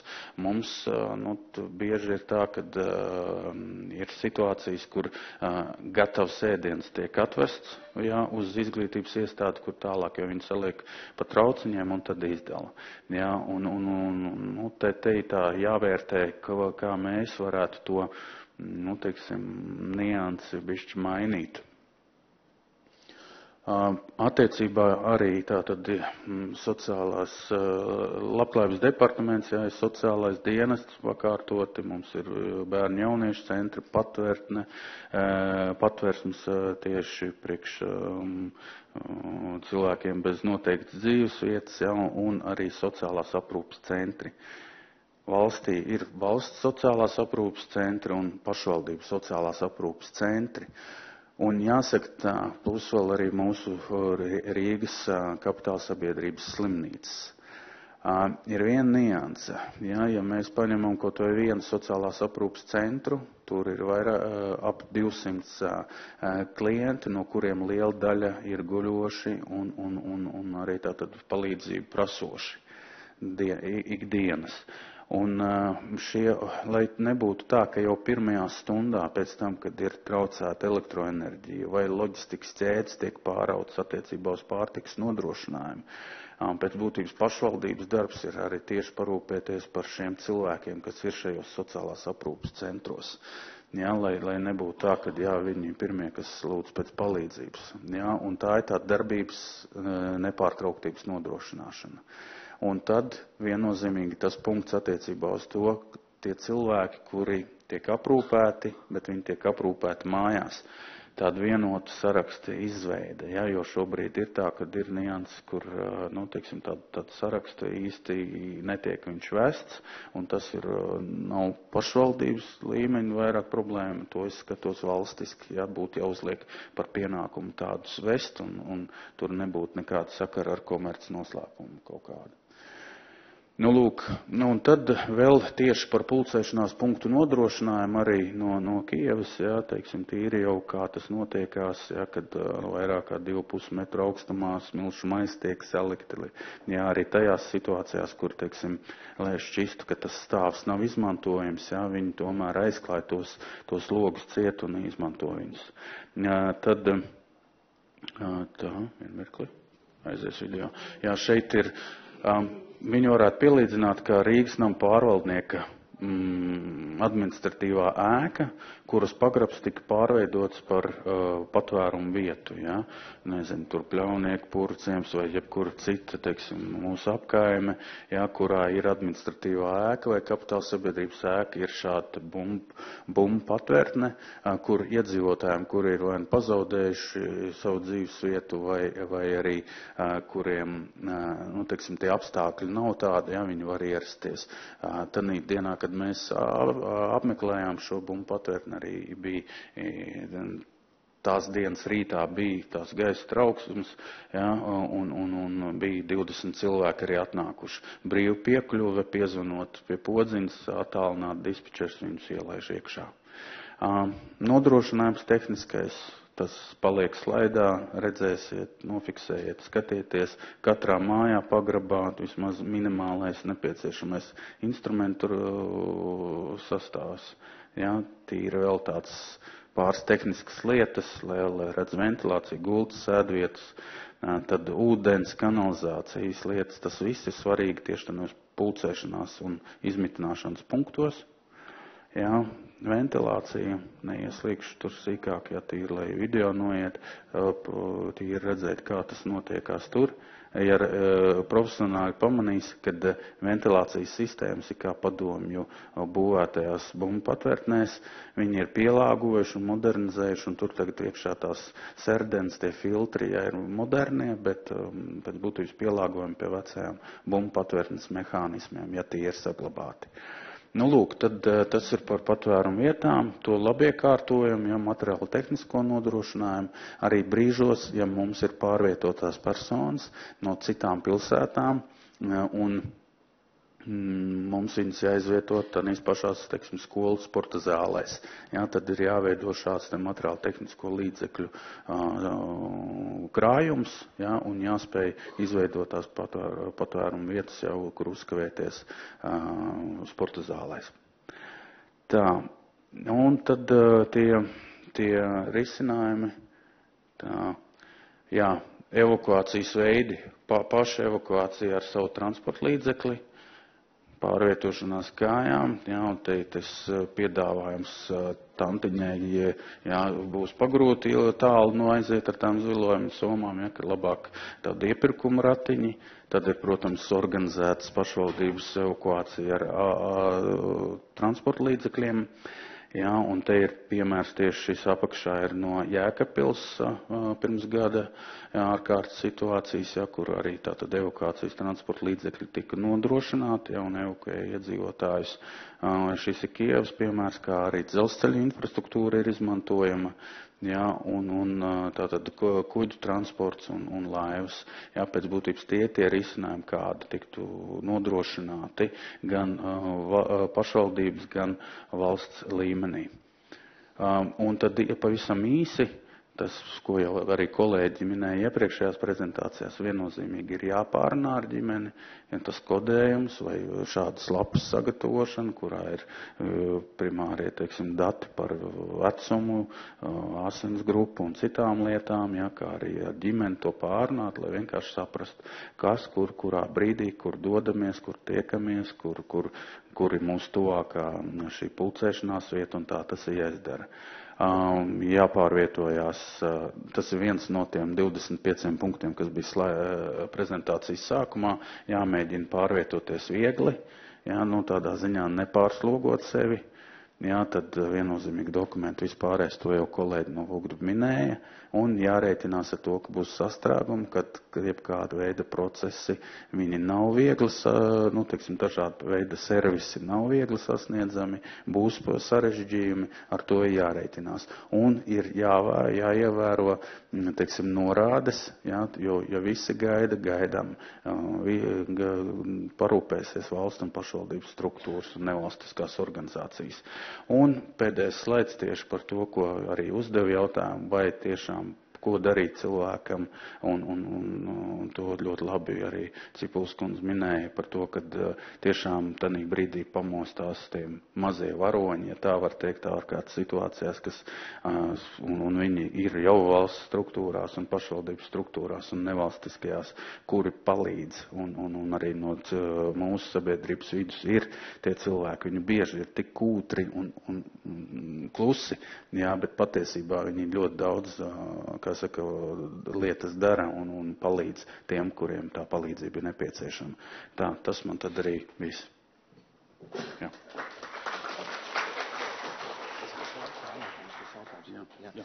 Paldies, Ginte. Tev arī ir ienākuši jautājumi, tad aicinājums ir vai nu tos pāradresēt uz uh, e-pastu, CAOI pēc Rīga LV, jeb šis, šis te burtu savienojums civilās aizsardzības operatīvās informācijas pārvalde, atšifrējumā. Tur bija trīs jautājumi, nu, nu, norādīja, ka tie ir gintam, vai arī pēc nākamā runātāja, tad mēs šeit viņus varam izrunāt. Un noslēdzošais lektors šodien mans dienesta biedrs un cilvēks ar ilgstošu pieredzi gan zemesardzē, gan arī ar izpratni par valsts aizsardzību viesturs Silonieks. Jā, tā kā viņa lekcijas laikā mēs visticamāk dzirdēsim dzirdēsim arī vārdu drons. Nedzirdēsim, katrā ziņā ārkārtīgi intriģējoša tēma - urbānā izdzīvošana, un um, urbānā izdzīvošana šajā gadījumā ir tas, ko, ko māca arī zemesargiem. Jā. Paldies, Gustav. Jā, labs vakars. Uh, es uh, esmu arī šodien pieteikts, ka no valsts uh, uzņēmuma posesoru, kurš ir atbildīgs pār valsts naftas rezervēm pirmās nepieciešamības preču sistēmas izveidi, ieviešanu tā tālāk un nākotnē vēl citas lietas, bet es domāju, ka mēs ar Gintu runāsim, tas noteikti būs 9. vai 10. seminārā, vai ne? Eh, kas nav vēl šī sarakstā. Tā kā mm, tad varēs arī pastāstīt, šobrīd nav tik daudz ko stāstīt. Uh, bet uh, kas man, Lienija ļoti labi, man patīk to pieminēja, un Gustavs arī, ka tā runa šeit no tribīnes un vispār sabiedrībā kļūst ar vien skaidrāk, precīzāk, konkrētāka. Ja atceraties, kā pirms Ukrainas kara runāja, nu tad, nē, nu viss jau ir labi, mums jau viss tā kā valsts ir un nomierinieties, viss ir labi, ja. Un tas viss, viss ir labi, vilka uz to, ka, nu jā, nu, ko, kāpēc man kaut kam gatavoties, kāda soma, ko, ko rēķināt, plānus, maršrutus, telefonus, kabatā, lapiņas un vēl kaut ko, nu viss jau ir labi, priekš kam to vajag, ja. Un tad. Um, Es domāju, ka Ukraina iekustinājusi arī mūsu apziņu un prāts, ka jāsāk pašiem ir domāt. Un, uh, par pašu domāšanu pamatā ir arī mana prezentācija. Viņa ir ļoti, es teikšu, tāda varbūt deklaratīva virspusē, jo katrā no slaidiem, kurus minēšu, ir nedēļām un mēnešiem garas apmācības un treniņi, un, un, un 20 minūtēs to nevar izstāstīt, viņi varbūt liek tikai aizdomāties. Uh, izdzīvošanas pamatprincipi, tā ir tāda piramīda, uh, Un pašā augšā ir vēlme. Ja nav vēlme, tad nav vēlme arī izdzīvot, nav vēlme neko darīt, un klātsošam vismaz ir vēlme, ja jūs esat ieradušies, tad jūs tikai gribat, bet arī darat, jau nākamo soli spēruši. Un tas ir pats būtiskākais krīzes situācijās, dažādos apdraudējumos. Viszemākā vēlme, ja mēs tā skatāmies sabiedrībā vecākiem cilvēkiem, ir, jo, nu, man ir astoņi mazbērni, Darba mūžs man ir bijis garš, nu jau man ir pensija, nu ko tad es vairs? Nu, tāds ir tas, tas nodoms, un, tie, un vecie cilvēki ir tie, kas arī šobrīd Ukrainā var noskatīties, ja? nu, kur tad es braukšu, ja?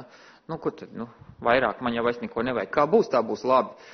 Un uh, par, par, par šo tieši attieksmi man būs arī pats beidzamais slaids, bet um, par to vēl ne. Nākamais ir zināšanas. Vēlme tev var būt liela, enerģija daudz, trakums arī ir galvā, bet saprāta nav. Un uh, traks cilvēks apveltīts ar lielu iniciatīvu pat vēl ir sliktāks. Un um, tāpēc uh, zināšanām ir jābūt tai bāzē, to bāzi, uh, tas ir lasot, darot, praktizējot, interesējoties, eksperimentējot, mēģinot un tā tālāk. Nu, kaut vai kā piemērs 72 stundu ļoti labi saraksts, es domāju, jūs atpazīstat katru no tām lietām, kas tur ir iekšā, bet kā ar viņu darboties. Piemēram, kāds lukturīts ir labs, kāds slikts Viņu vajag spožu, nespožu, pie galvas liekam, rokās turam tādu, ko var sist, vai tādu, ko var iebāzt uh, krekla kabatā. Nu, lukturīši ir simtiem tūkstošiem veidu, lukturīt arī baterijas. Ja, un es tad pāris piemērus tikai minu, ja, bet tas viens lukturīts jau ir tēma veselam semināram. Un, uh, un tātad zināšanas tā ir arī ļoti būtiska lieta, kā tas viss, kas ir, kā to pielietot, un nevis tikai to, kas man ir kā pielietot, bet arī spēt analizēt apdraudējumu. Uh, apdraudējumi var būt visdažādākie. Un tas nozīmē, kā mēs spējam analizēt informāciju, iegūt informāciju, analizēt informāciju un adekvāti rīkoties esošai informācijai. Nu, piemēram, nu, tāda, no, no civils, civilām katastrofām pieminot, jā, ir ķīmiskā noplūde. Nu, jā, es domāju, ka vējš arī tomēr pūš, un kurā virzienā viņš nes eh, tos aerosolu mākoņus, šo ķīmisko vai radioaktīvo mm, visu zieti, ja, Nu, tad, tad tas arī ir stāsts, ka jā, viens ir, jā, nu tur uzgāja gaisā, bet vējš nāk uz mums, ko daram, jā. Un uh, tas ir tas spēja, kā tā zināšanas izmantot. Un pēdējais ir inventārs. Jā, zināšanas var būt daudz, bet to ir pliks un varbūt tikai pirts lapa pielipus pie dibena. Tas ir viss, kas tavā rīcībā, jā. Un tad uh, par inventāru, bet inventārs mums ir visapkārt. Uh, ar to, kas ir visapkārt, visu var izmantot duālā pielietojamībā tikai jāsaprot un jāizdomājās kādā veidā. Un, un tas ir atkal stāsts, tas vairāk ir gan par pieredzi, gan par izdomu, gan par radošumu, bet uh, tas strādā tikai tad, ja viņi visi trīs kopā un sevišķi arī pirmais. Un tas, ko noteikti nevajag darīt nevienā šādā krīzes situācijā, nolaist rokas, bet vajag aktīvi darboties. Uh, vajag domāt vai kustēties, nevajag tā teikt, mežā apmaldies, apsēdies uz celmu un gaidīt, kad es nosaušu. Ja? Simt punktu nosals. Ja? Tev neviens nepalīdzēs. Vai uh, par, uh, par, gan par šo somu, gan par aptieciņu vispārējo. Uh, mēs te Gustav jau labi zinām, aptieciņa, kas ir pie tevis, tā ir tavējā, un ar tavu aptieciņu tevi glābs, nevis tu uh, aiziesi pie kaimiņa un pie viņa aizņemsies. Nē, kaimiņam ir viņam domātā, kur ir tavējā, kur tu esi iegādājies savējo. Ja mēs saskaitītu summas kopā, ko šis viss inventārs maksā, viņš maksā daudz. Jo tev ir jāizdomājās, ja tā ir divas aptieciņas. Vienu, kuru tu gribētu dot eh, tam sliktajam kaimiņam, tajā visdrīzāk nekas nebūtu, un otru tavējā. Un līdzīgi tas pats inventārs, kas šeit ir, tu viņu pēc priekš sevis. Ja tu gribi priekš sevis nopirkt pašu lētāko, draņķīgāko, vienkāršāko, laipni lūgts klubiņā pie melnajiem maisiem. Ja? Šeit ir stāsts, ka tas būs tavējais, iespējams vienīgais, kas tev būs. Nekautrējies, atliec naudu, nevajag nopirkt visu vienā dienā, atliec pa, pa, pa, lat, pa, pa centam, pa eiro no pensijas, atliec no algas, atliec no citiem kādiem ienākumiem. Ja? Nevajag to visu vienā dienā. Protams, tas būtu ideāli rītā aiziet uz veikalu nopirkt, bet ja nevar atļauties, ja vienkārši uztaisīt iepirkumu plānu un katru reizi kaut ko nopēc no katras augas kaut ko vienu. Respektīvi, tas ir stāsts par inventāru. Izdzīvošanas atgādne, viņi ir šeit sastruktūrēti kreisā pusē nevis 1, 2, 3 vai ABC, bet uh, vārds izdzīvot. Um, un pirmais ir tātad izmantošana, ja pielietot visas pieejamos apkārtnes resursus. Uh, es jau pieminēju īsi, ka visam ir tā duālā pielietojamība var būt. Vienkārši varat trenēt savu uzmanību, savu domu, izdomu ikdienā, kā es katru no tā vērķa, kas man ir blakām, varētu izmantot kādā savā dzīves situācijā, vai uh, kas ir ļoti labi arī pašiem, varbūt tas tā paranoiski skan, bet izspēlēt situāciju, ejot pa ielu, rekur ielas pretējā krustojumā, tur pa diagonāli tikko, ka notiks sprādziens. Uzzīmēt ainu, kāds izskatīsies ēkām birs logārā. Jūs tagad ejat gar ēkas sienu, varbūt vajag tālāk paiet. Es, es tagad tā spekulēju, ja? uh, tas ir veids, kā notiek arī mācības. Uzbūr scenārijus un kā mēs tiem scenārijiem tiekam galā. Ja? Um, un te tas stāsta, kāda resursa šobrīd ir apkārt. Kurus var dabūt tuvāk ugunsdzēšanu aparātu šeit, stāvot tribīnē? Nu, kur viņš varētu loģiski būt? Ja? Un, un tas ir tas šādā veidā, šādā veidā ikdienā domājot, trenējot savas smadzenes izdomu, kļūs arvien racionālāks un nedarīs liekas kustības un muļķības. Zināšanas, jā, tajā brīdī, kad skolā ejam, tad daudz zināšanas ir tikai skolotājiem vajadzīgas, bet vēlāk saproti, ka tu aizmirs kādām vielām, kāda ķīmija, kas ir labs, kas ir slikts, vai, vai, vai no fizikas likumiem daudz ko tā kā zināšanas ir būtiski. Dezorientācija, jā, tā ir viena tāda lieta, zemesardze, bruņoties spēki, policija, vukts diezgan bieži meklē cilvēkus, kas ir pazuduši mežā, un, un, un tā dezorientācija lauka apstākļos, nu, apvidū ir ik pa laikam mums ir, bet tāda notiek arī krīzes situācijās. Un uh, te ļoti labi var sadalīt cilvēkus.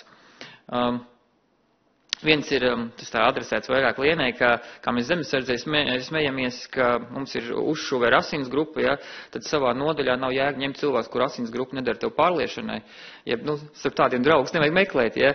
E, tad, e, tad šeit ir tas stāsts, ka šādās situācijās tur ieraugi, kurš jūg prātā, kurš novēršās, kurš vienkārši aizver acis un negrib skatīties tajā virzienā, kur kāds cietušais, kurš asiņo, un ir otra daļa cilvēka, kas, kas, kas vienkārši, tā teikt, apstādina satiksmi, noliek mašīnas čērsām, cilvēkus liek pie darba, organizē menedžē, ja, un, un viņam sāk trīcēt rokas tikai tad, kad viņš ir aizbraucis mājās, viss ir beidzies, un, un tad atver konjaku vaļā, ja, un, un tad viņam sāk trīcēt rokas. Es tīvi, viņam tas viss stress iestājās vēlāk, bet tādu cilvēku, kuriem nav bailes vai kuri nestreso, tādu nav. Jautājums, kā tu šajā, kā tu pārvaldi un kā tu tiec galā ar savu organismu smadzenēm. Um, zaudējumi, jā, nu tas ir iet kopā ar to dezorientāciju zināmā mērā, ka tev ir jāatbrīvojas no bailēm un panikas. Um, nu, to ir viegli man tagad pateikt, um, bet um, tās uh, dzīves situācijas, kur nonākuši tādās um, Um, tie paši var vērtēt, kā, kā viņi uzvedās. Ja? Protams, es nevienam to nenovēlu, bet tāpat laikā novēlu, uh, lai jūs saprastu, kā jūs pats reaģējat. Ja? Nu, tas ir pilnīgi vienkārši paprasīt, kurš ne jums var aizlikt 6 metrus. Nu, to jūs zināt, laikam neviens. Ja? Kurš var 2,40? Ā, jāsāk domāt. A, kāpēc tu domā? Tāpēc, ka tu neesi mēģinājis. Jā, izmēģini. Nu, tu zināsi. Nākamreiz vajadzēs liekt no vienas ēkas jumta uz otru 2,40, un tu zinās, nē, nē, tas nav man. Tad es labāk eju pat kāpnēm. Ja? E, tas ir tāds primitīvs, prasts piemērs varbūt, ja? bet es stāstu par jebkuru jomu, mēģinu meklēt savus robežas, protams, ar saprātu. Um, improvizācija, jā, nav identiska situācija, un, um, un uh, kat, katraus apstākļos, uh, pat dažādos karos, liekas, ka karš ir viena tā pati tēma, nē, pielietots dažādas tehnoloģijas, iekārtas, taktikas un tā tālāk. Nav identisks stāsts. Visu, visu laiku viss attīstās un nepārtraukt uzlabo apstākļus. Tas ir stāsts arī, ja mēs pilsētu vidē esam kaut kur iebarikādējušies vai kādā skolā. Mēs būsim visi salikti pagrabos iekšā.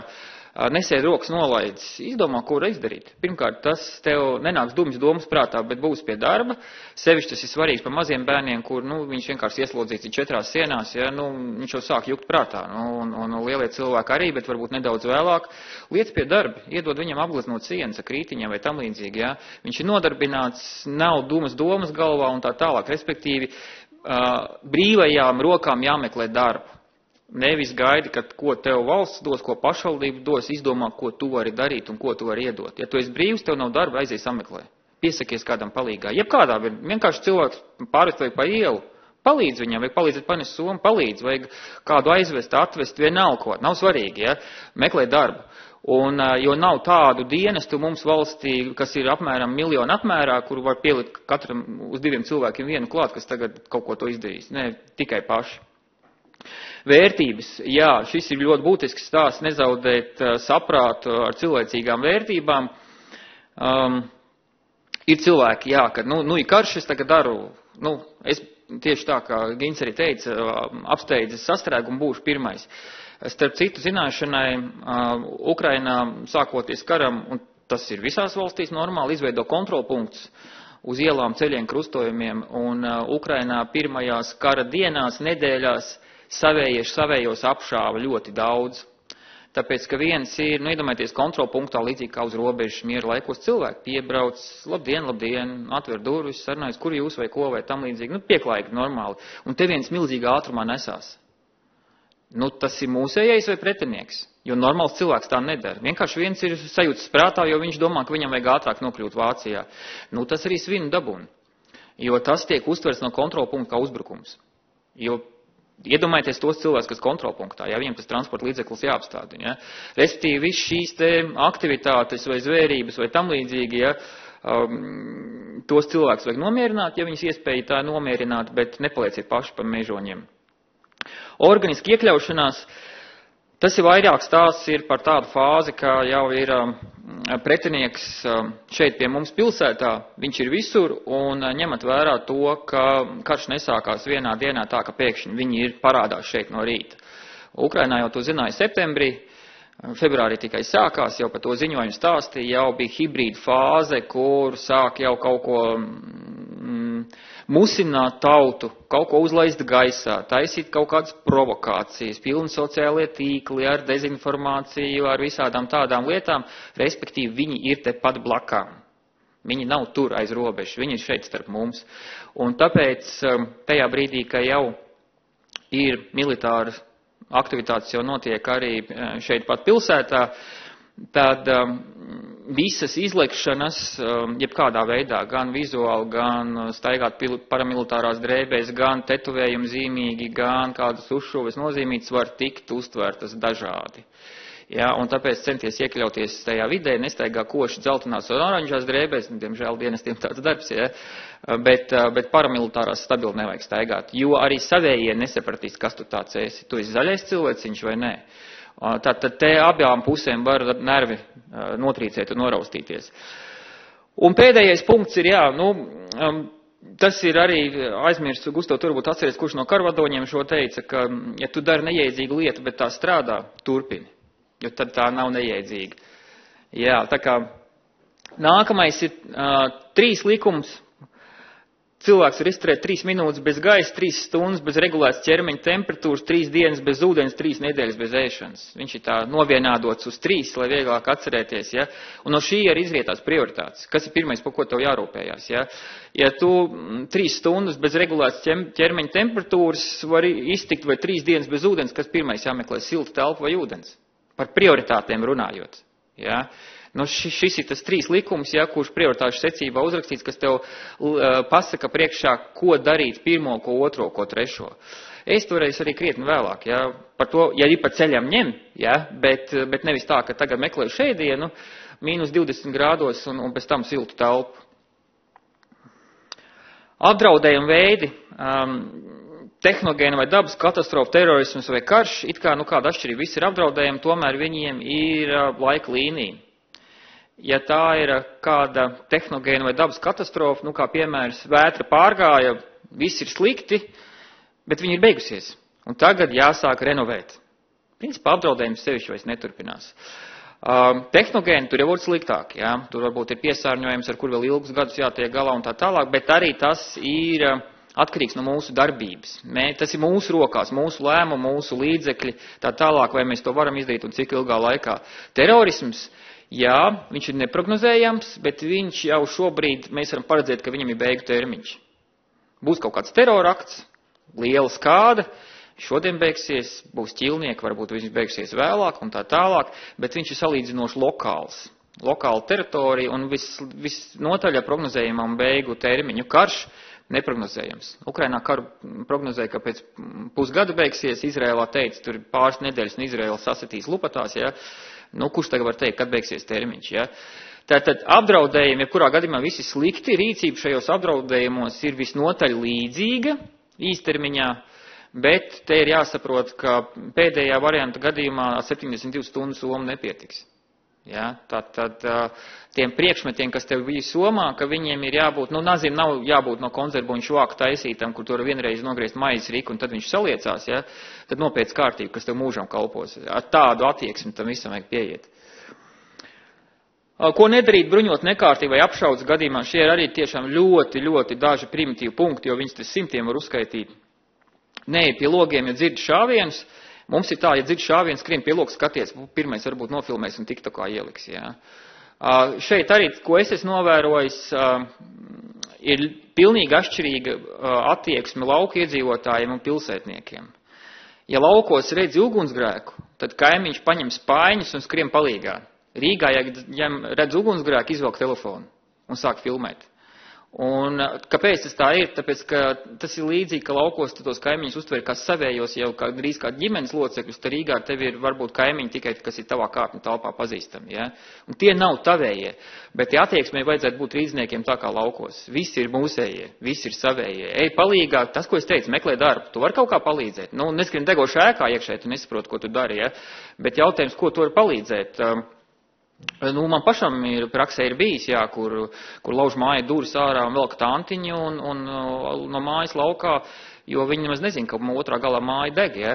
Nu, nu, ir brīdis, kurā brīdī tev ugun, un tāpat laikā, viņi teica, otrā stāvā ir kaķi, es kāpu otrā stāvā augšā un saprotu, ka man tur nevajag iet, jo tur ir visi, visi domos, un, un, un tad te ir svarīgāk, nu, kurš tad ir prioritāte, tantiņa, kaķis vai es, jā. Tā kā, Tas ir pašam jāizvērtē savas spējas un nevajag pārvērtēt. Um, otrs ir nenovēro atklātā veidā kardarbības gaitu, nestāv atklātā vietā un neskrien zem uguns. Šajā gadījumā tas ir tā kā zem ložu uguns domāts pamatā. Kāpēc? Tāpēc, ka militārā taktikā ir novērotāji, kuru uzdevums ir novērot un koriģēt, vai arī kā izlūk, kur saka priekšā, kur kāda aktivitāte un kam ko darīt. Un ja tu tā dari, un tu nebaidies, tad nu, vai nu tev tiešām bailes nav, vai otrkārt tu esi uzdevumā. Jo nu, Ukrainā, ja mēs skatāmies netieši uguni koriģē tanks pa mobilo telefonu, kurai iedots ir uzdevums tā darīt. Ja? Un te jautājums kā tu vari izšķirt stāvot malā, kurš ir kurš. Ja? Respektīvi, nelien klāt, pirmkārt, tu dabūsi ribās, otrkārt ir tev var nu, uztvert par pretējo pusi. Nestrīdies ar bruņotiem cilvēki, atklāt, nefotografēt, nefilmēt viņu klātbūtni. Te ir ļoti daudz argumentu, kāpēc to darīt, jeb nedarīt. Uh, jo nevajag pierādīt militāru personām vai amatpersonām savu taisnību, viņiem ir cita uzdevuma, viņi zina, kas ir jādara, un viņi zina daudz labāk, kāda šobrīd ir situācija. Viņiem arī nāk no komandieriem informācija, no vadības. Uh, atklāt nefotografē, jā, akal tas stāsts, vai tu esi savējais, vai tas, ko Ukraiņi arī reklāmas taisīja karš mīl klusumu, Uh, nu, tāpēc, ka tu vienkārši gribi nofilmēt tanku, nu, pēc, ka tas tu pirmo reizi mūžā tu viņu redzi, ja? nu, neliec internetā. Pretinieki analītiķi, ko dara, viņi redz, kurā vietā tas ir, kas pārvietojas, cik cilvēki, kādā virzienā un tā tālāk. Ja? Tā kā par to ir tas stāsts, nevis tas, kas kauž, ka tu nofotografēs un taisīs Latvijas vēstures arhīvu. Um, nedemonstrē ieroči vai ieročiem līdzīgs priekšmets. Nu, es domāju, šo ļoti daudz redzējuši amerikāņu filmās, ja, kur, kur kāds vienkārši tur roku aiz muguras un ko policists lai domā? Nu, tad tur ir rokas vai nav, ja? Nu, un šādas veida darbības, imitācijas vai um, es paņemšu savu spēļu ieroci, kurš ir līdzīgs ierocim, ja? Bet principā nevar viņu atšķirt. Priekš kam tev viņš ir vajadzīgs? Mm, vienkārši dienesti vai arī pretinieks to var uztvert, ka tu esi pretējā puse, ja? Tā kā viņš tāpat nav izmantojams, ja? Um, un neņemt pamests ieroču munīciju, tas ir stāsts par drošību, bet uh, pilsētu vidē, ko es arī aicinātu, neatceros, vai šī prezentācijā man ir, jā, tas, um, tas stāsts ir par to, ka uh, Ukrainā viss ir mīnēts ja meklē patvērumu, nemeklē, necenties iet tukšā mājā, kur kāds jau ir bijis, ir sevišķi pretinieki, viss ir mīnēts. Dokumenti mīnēti, papīri, atvilknes, spuldzītes, gaismas sensori, telefoni, televizoru pultis, rozetes, e, jebkas. Cilvēks strādā radoši. Tas bija no tā pirmā. Trīs stūri, ja? jābūt radošiem.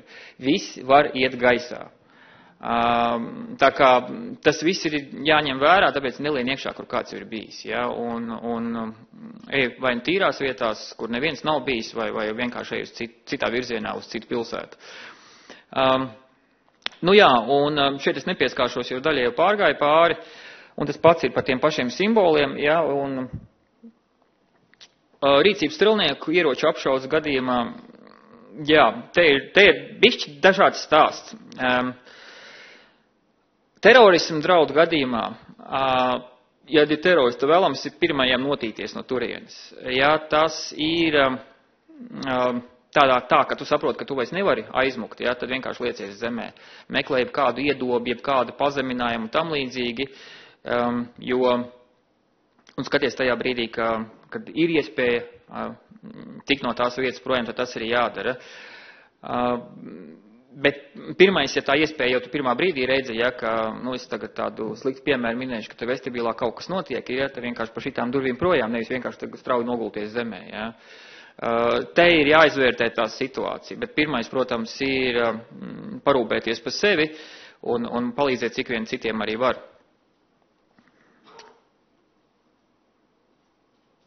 Jā. Um, jā, nu tas, tas stāsts par nepi, neiet pie logiem, izslēgt gaismu un, un patverties kaut kur dziļāk iekšpusē, vansistab tolete, nu tas tas dubulto sienu princips. Uh, Tepat laikā jāizvērtē ir ēkas.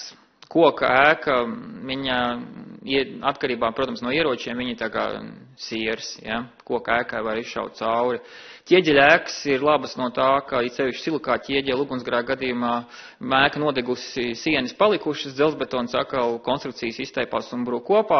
Tāpat laikā pret artilērijas šāvieniem ir pretējais stāsts, ja, ka tas dzelzbetona ēka Ukrainas bildēs arī varat redzēt, ka, piemēram, vidējais sektors ir viss nobrucis, bet abas pārējās malas vēl stāv. Ja. Tad ķieģeļa ēka ir viens artilērijas šāviens un ķieģeļa jūka pa gaisu. Ja. Un te ir atkal tas stāsts, par ko mēs runājam. Ja. Vienkārši terorismu apšauda, tad ir viens stāsts, ja tas ir karš, tad atkal ar ko un kas un kā. Un, um, nu jā, protams, es jau tagad varbūt bišķi pa specifisku, bet uh, daļai tāpat laikā grib, gribu jūs pabaidīt, lai sākat domāt, um, ka te tas stāsts, ja, skaņas ātrums kaut vai, ja, uh, salūt krastmāka skaties. Jūs dzirdat, kad stobri izšau, nokūp dūmi un troksnis atnāk vēlāk. Te ir tas pats stāsts, ja, un, uh, un, un, un no tā tu var izvērtēt. Uh, tad ir, un tad ir palikuši dažas sekundes. Ja, un tās, tās dažas sekundes līdzīgi arī zibens un pērkons. To jūs varat mieru laikā varat patrenēties, ieraugat zibens, sākat skaitīt, cik sekundes pagāja. Tas skaņas ātrums, kad dzirdat dārdienu. Tas ir līdzīgi kā artilērija, nekāda atšķirība. Tā. Jā, nu te ir tas pats dziļāk stūrī, tuvāk pie nesošajām konstrukcijām sienām. Um, jā, neatstāt patvērumu vismaz desmit minūtes. Uh, Kāpēc tas tā ir? Jo tā uz dūlo pārsvaru artilēriju viens nešauj. Viņi, viņi šauj pa kādiem konkrētiem mērķiem. Tas, ka noklīst vai nemāk šaut, tas ir cits stāsts, kad aiziet kaut kur garām. Bet visdrīzāk ir kāds, kas to uguni korģē. Un viņš visdrīzāk atrodas turpat kaut kur netālu, ja tas sprākst, tad pat netālu. Viņam ir tas jāredz, kur ir trāpījums un jānoziņo trāpīts vai nav trāpīts. Tātad tu neesi vienīgais, kas to redz. Visdrīzāk vēl kāds redz. Un te tas stāsts pirmais no, aizlidoja garām, teiksim tā, ir energos centrāli, bet trāpīja garām, tad zina, ka gaida otro. ja tas bija artilērijas šāviens, nebija no iekšpuses radīts. Ja?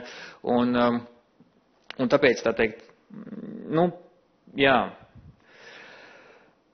Un šis ir tas mans pēdējais slaids un vēstījums, ka katrs, kas pretojas evakuēties pēc varas pārstāvu pieprasījums, ir apdraudējums sev, radiem, likumiem, aizstāvjiem un valsts drošībai. Ko es ar to gribu pateikt, ka Ukrainas piemērs ļoti labi rāda. Visi tie cilvēki, kas paliek Bahmuta, es domāju, labs piemērs, Avģiev, ka līdz pēdējām brīdim es neiešu ārā, jo man ir kaķis. Ja?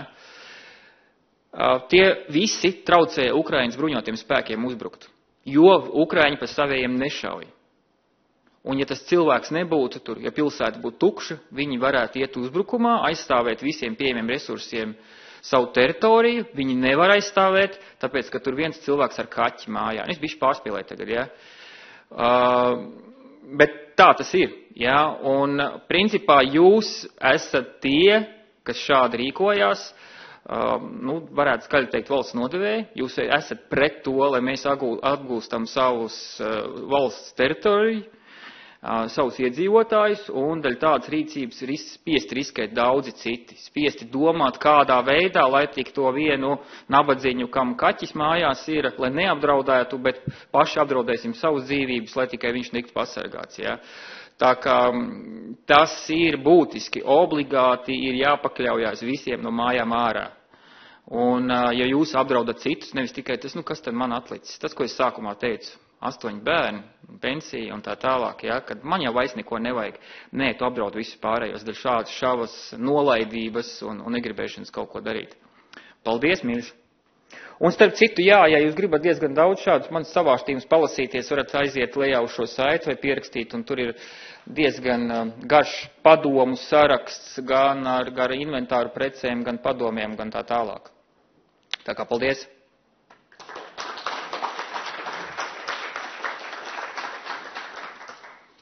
Jā, paldies viesturam Siliniekam un uh, ņemiet piemēru no viestura, viņš ar saviem bērniem topošajiem karavīriem, arī bieži ir ar somām. Tiesa gan kamuflētām redzēts mežos. Bet šajā gadījumā tiešām tas ir um, neizmantotas zināšanas, ir uh, mirušas zināšanas un to visi, kas dienē zina, jo To mēs saucam par drillu, un līdz apnikumam es taču to zinu, es taču to kursu gāju, un tad, kad tev instruktors pasaka, nu, kas ir, ko tu pirmais dari tajā un tajā situācijā, būbē. Ja, un, ja, ja, un ja mēs mācītu cilvēki atduramies pret tādām, pret tādām kompetences iekritumiem, tad ko mēs varam prasīt no civilās publikas. Ja? Bet es vēlreiz saku no sirds, un ar katru dienu aizvien vairāk profesionāļi instruktori nāk un piedalās. Ja? Tā kā nevajag domāt, ka, piemēram, zemesardzē mums tikai militāristi kaut ko pasniedz. Ja? Mums pasniedz ļoti daudz piesaistītu ļaužu, un tas ir apbrīnojami, cik daudz no konkrēta skatu punkta var izlobīt no viena profesionāļa ārā, ko tev tieši vajag šādām te konkrētām situācijām. Un kara darbība pilsētā, nu tās ir šausmas. Jā. Tas ir tad, kauja apdzīvotā vietā, ko, ko, ko dara pra, parasti profesionāļi. Mums vienmēr saka, nu jums jau tas nebūs jādara, bet nes kāpēc mums to drillē no, no vienām mācībām uz otrām. Tā kā paldies viesturam par arī par tiešumu šajā gadījumā. Un jautājums viesturam noteikti uzdodiet, jo viesturam ir pieredze, viesturs ir bijis uz vietām. Tā kā tā paldies arī jums visiem klātesošiem. Mums, es saprotu, kā vienmēr, kā vienmēr ir laiks vēl līdz deviņiem. Jā? apkopēji mums ļauj šajos semināros uzturēties līdz deviņiem. Mums ir palikuši pāri jautājumi Gintam. Ja? Gint nāks atbildēs vai no vietas? Es varu no vietas. Tad. Jā, labi. Jā, jā. Un, un labi, ka ja ieraksts vēl iet, tad super. Tātad bija jautājums attiecībā uz to, ka jau tagad pie visiem objektiem tiek izvietotas šīs te evakuācijas, ne, pulcēšanās vietu zīmes. Ja, un pēc būtības jāsaka tā, ka jautājums tiek uzdots, vai nevajag ierobežot šo zīmu izvietošanu pie objektiem, ja, ka tas varētu, es tā saprotu, jautājumu uzdevēju šķiet, ka tas varētu mulsināt. Es domāju, ka tieši tās zīmes ir svarīgas, lai pie katra objekta viņas būtu, jo tas arī tas dubultais pielietojums. Ja, miera laikos tas kalpo, tad brīdī, ja objektā ir izcēlies ugunsgrēks, cilvēks zina, kur iziet ārā militāra apdraudējuma gadījumā viņi zina, kur sākumā jāsanāk. Un pēc tam, iespējams, var tieši tādā objektā ieiet, pasildīties un vispārēju izdarīt. Tā kā tā, tām zīmēm jābūt, un to paredz ugunsdrošības jā, noteikumi, un viņas arī jāizmanto nu, citiem mērķiem. Tad otrs jautājums bija attiecībā uz to, vai tiek izvērtēts arī rūpniecisko objektu tuvums dažādajām šiem te pulcēšanās vietām. To mēs ņemam vērā, bet mēs nevaram ignorēt to, ka tik un tā tās pulcēšanās vietas ir jāveido. Ja, un tieši varbūt ir vēl vairāk tie drošības mehānismi jārod attiecībā uz, uz tiem iedzīvotājiem, kas dzīvo tuvāk kādai kritiskai infrastruktūrai vai kādam terminālim. Un uh, pēdējais bija, kā notiek evakuācijas skolās un bērndārzos. Nu, pēc būtības šobrīd tas uh, process viss notiek uh, atbilstoši jā, arī ugunsdrošības evakuācijas mācībām, jā, kur attiecīgi skolu personāls, ja, katrs uh, skolotājs savu klasīti izved ārā, saskaita bērniņus, ja, un tad iet, uh, nu, teiksim, saimniecības ugunsdrošības speciālists uh, pa telpām, ja, un pārliecinās, ja, vai tad, kur tas de, degšanas avots, ja, teiksim, vai, vai nav kāds palicis kopā, ja, saga, protams, sagaidot valsts ugunsdzēsības glābšanas dienesta pārstāvis. Nu, tas tā. Jā. Uh, savu personīgo transportu. Jā, vai ir eh, vienmēr ieteicams evakuēties ar savu personīgo transportu, vai arī ir situācijas, ka tas eh, nebūtu vēlams. Nu, te, te pēc būtības ir jāizvērtē. Situācijas bija vairākos mūsu prezentācijās minēts, eh, nu ne minēts, bet bildi parādīta, kur vienā virzienā ir kilometriem gara rinda, un otrā tur pāris transporta līdzekļi brauc. Ja, un tad tur ir jāsaprot to, ka pēc būtības sanāk tā, ka, nu, iebraucot tanī maģistrālē, tu esi tur uz entajām stundām. Ja, varbūt tanī brīdī pat savā ziņā drošāk ir palikt stāvā mājas, teiksim, patvērumu vietā, ja, nedaudz nogaidīt Jo pēc būtības vai nu gaidīt transporta līdzeklī divas, trīs stundas, kamēr tu izperies cauri tam sastrēgumam, vai tomēr pēc tam braukt ārā. Plus noteikti tur būtu ļoti nu, intensīva tā komunikācija no operatīviem dienestiem, kur arī, un, un par rādio noteikti arī skanēt, klausoties tas, tā tur gatve cietu, ja, vai tas ceļš ir atbrīvojies, tur tagad plū, plūsmi labāk, ja. Tā kā, nu, tā viennozīmīgi nevar atbildēt. Viennozīmīgi, e, kā lai pasaka, e, transporta līdzekļu savējas, tas tikai pluss.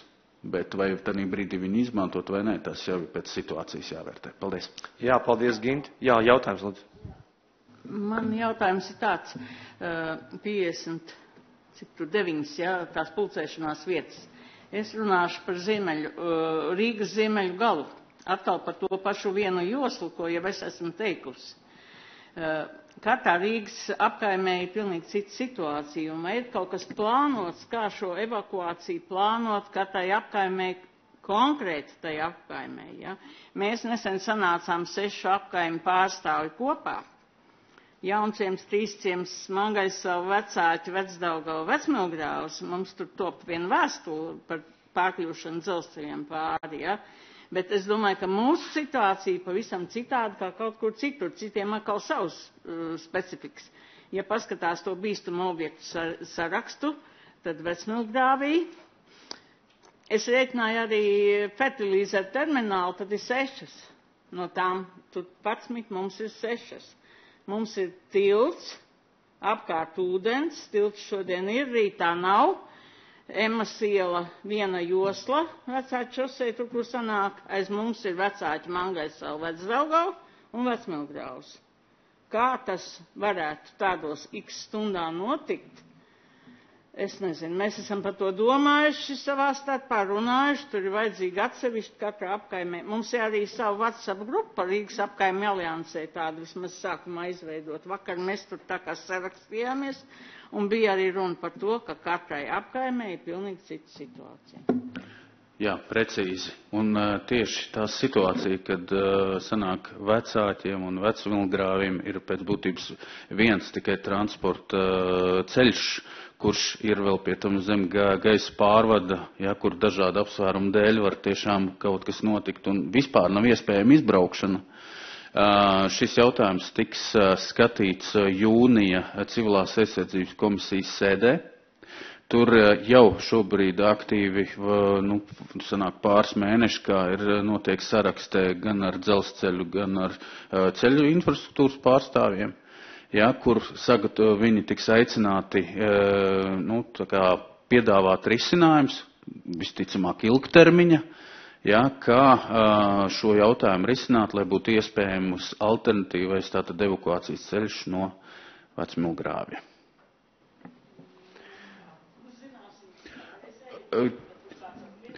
Nu jā, sākumā tas civilās aizsardzības komisijas darbs, un mēs viennozīmīgi par to arī noinformēsim. Jā, tas, tas būs darbs ar apkaimē iedzīvotāju centriem, kur painformēsim at, attiecīgi, jā, kā, kā, kādas ir tie ilgtermiņa plāni. Jā, jo ir, ir jau pāris scenāriji, jā, kur pēc būtības var izmantot uh, puses no gulšņiem, ja, kuras var uzlikt uz dzelzceļa, ja, lai transporta līdzeklis var pārbraukt, bet uh, tas var būt tāds detaļas, kuras, kamēr caur komisiju neesam to visu izanalizējuši, ja, te tā sīkāk nestāstīšu. Ja. Ja. Paldies par jautājumu, un mīļie draugi, mēs esam krietni pāri laikam, bet uh, mūsu runātāji ir aicināti un piekrituši, tikai viens aizmuka citās darīšanās, tātad joprojām šeit ar mums kopā ir gan Gins Reinsons, gan Viesturs Silanieks, gan Liena Cipula, kur es pieņemu ļoti daudz jautājumu būs, gan arī uh, Santa Suveizda. Uh, aicinājums uzdot jautājumus šobrīd, kas ir atnākuši šeit sēž zālē personīgi, Es jums saku paldies, mēs nākamreiz visticamāk tiksimies 9. ne, bet 11. septembrī, un tur tēma, ko viesturs cilvēks aizskar, tas īstenībā ļoti nopietni, ja, atšķirt dažādu ieroču tipus un uzbrukumu ieroču veidus, kas ir, ja, jo es ne, neminēšu vārdā, jo cilvēks kotējās tagad Eiropas parlamentā, bet nu, ļoti bieži brauc ar dažādiem konvojiem uz, uz Ukrainu, un diemžēl kādā no konvoja reizēm mūsu tie automašīnu īpašnieki jau bija devušies taisaulē un notika bēres, un viņu uzaicināja uz vienām no šīm bērēm, un pēkšņi kauts gaisā. Viņam saka, niču ir daļiko. Ja tā kā ir pēc skaņas, pēc, pēc dažādiem um, elementiem var noteikt, un tas ir, diemžēl, jāzina, tāda ir tā realitāte, ja, kas bubina tur, tas tie 3 km vai tie 300 km, tā ir milzīga atšķirība, un par to mēs runāsim uh, jau septembrī. Uh, Jauku jums vasaru, nepārkarstiet, uzdodiet jautājumus. Paldies par jautājumiem un vislielākais paldies par visiem tiem jums rīdziniekiem, kas izmanto šo iespēju nāk šeit sēžu zālē un būt uh, klāt. Un, protams, paldies darba grupai, kas šos visus seminārus arī rīko. Paldies jums!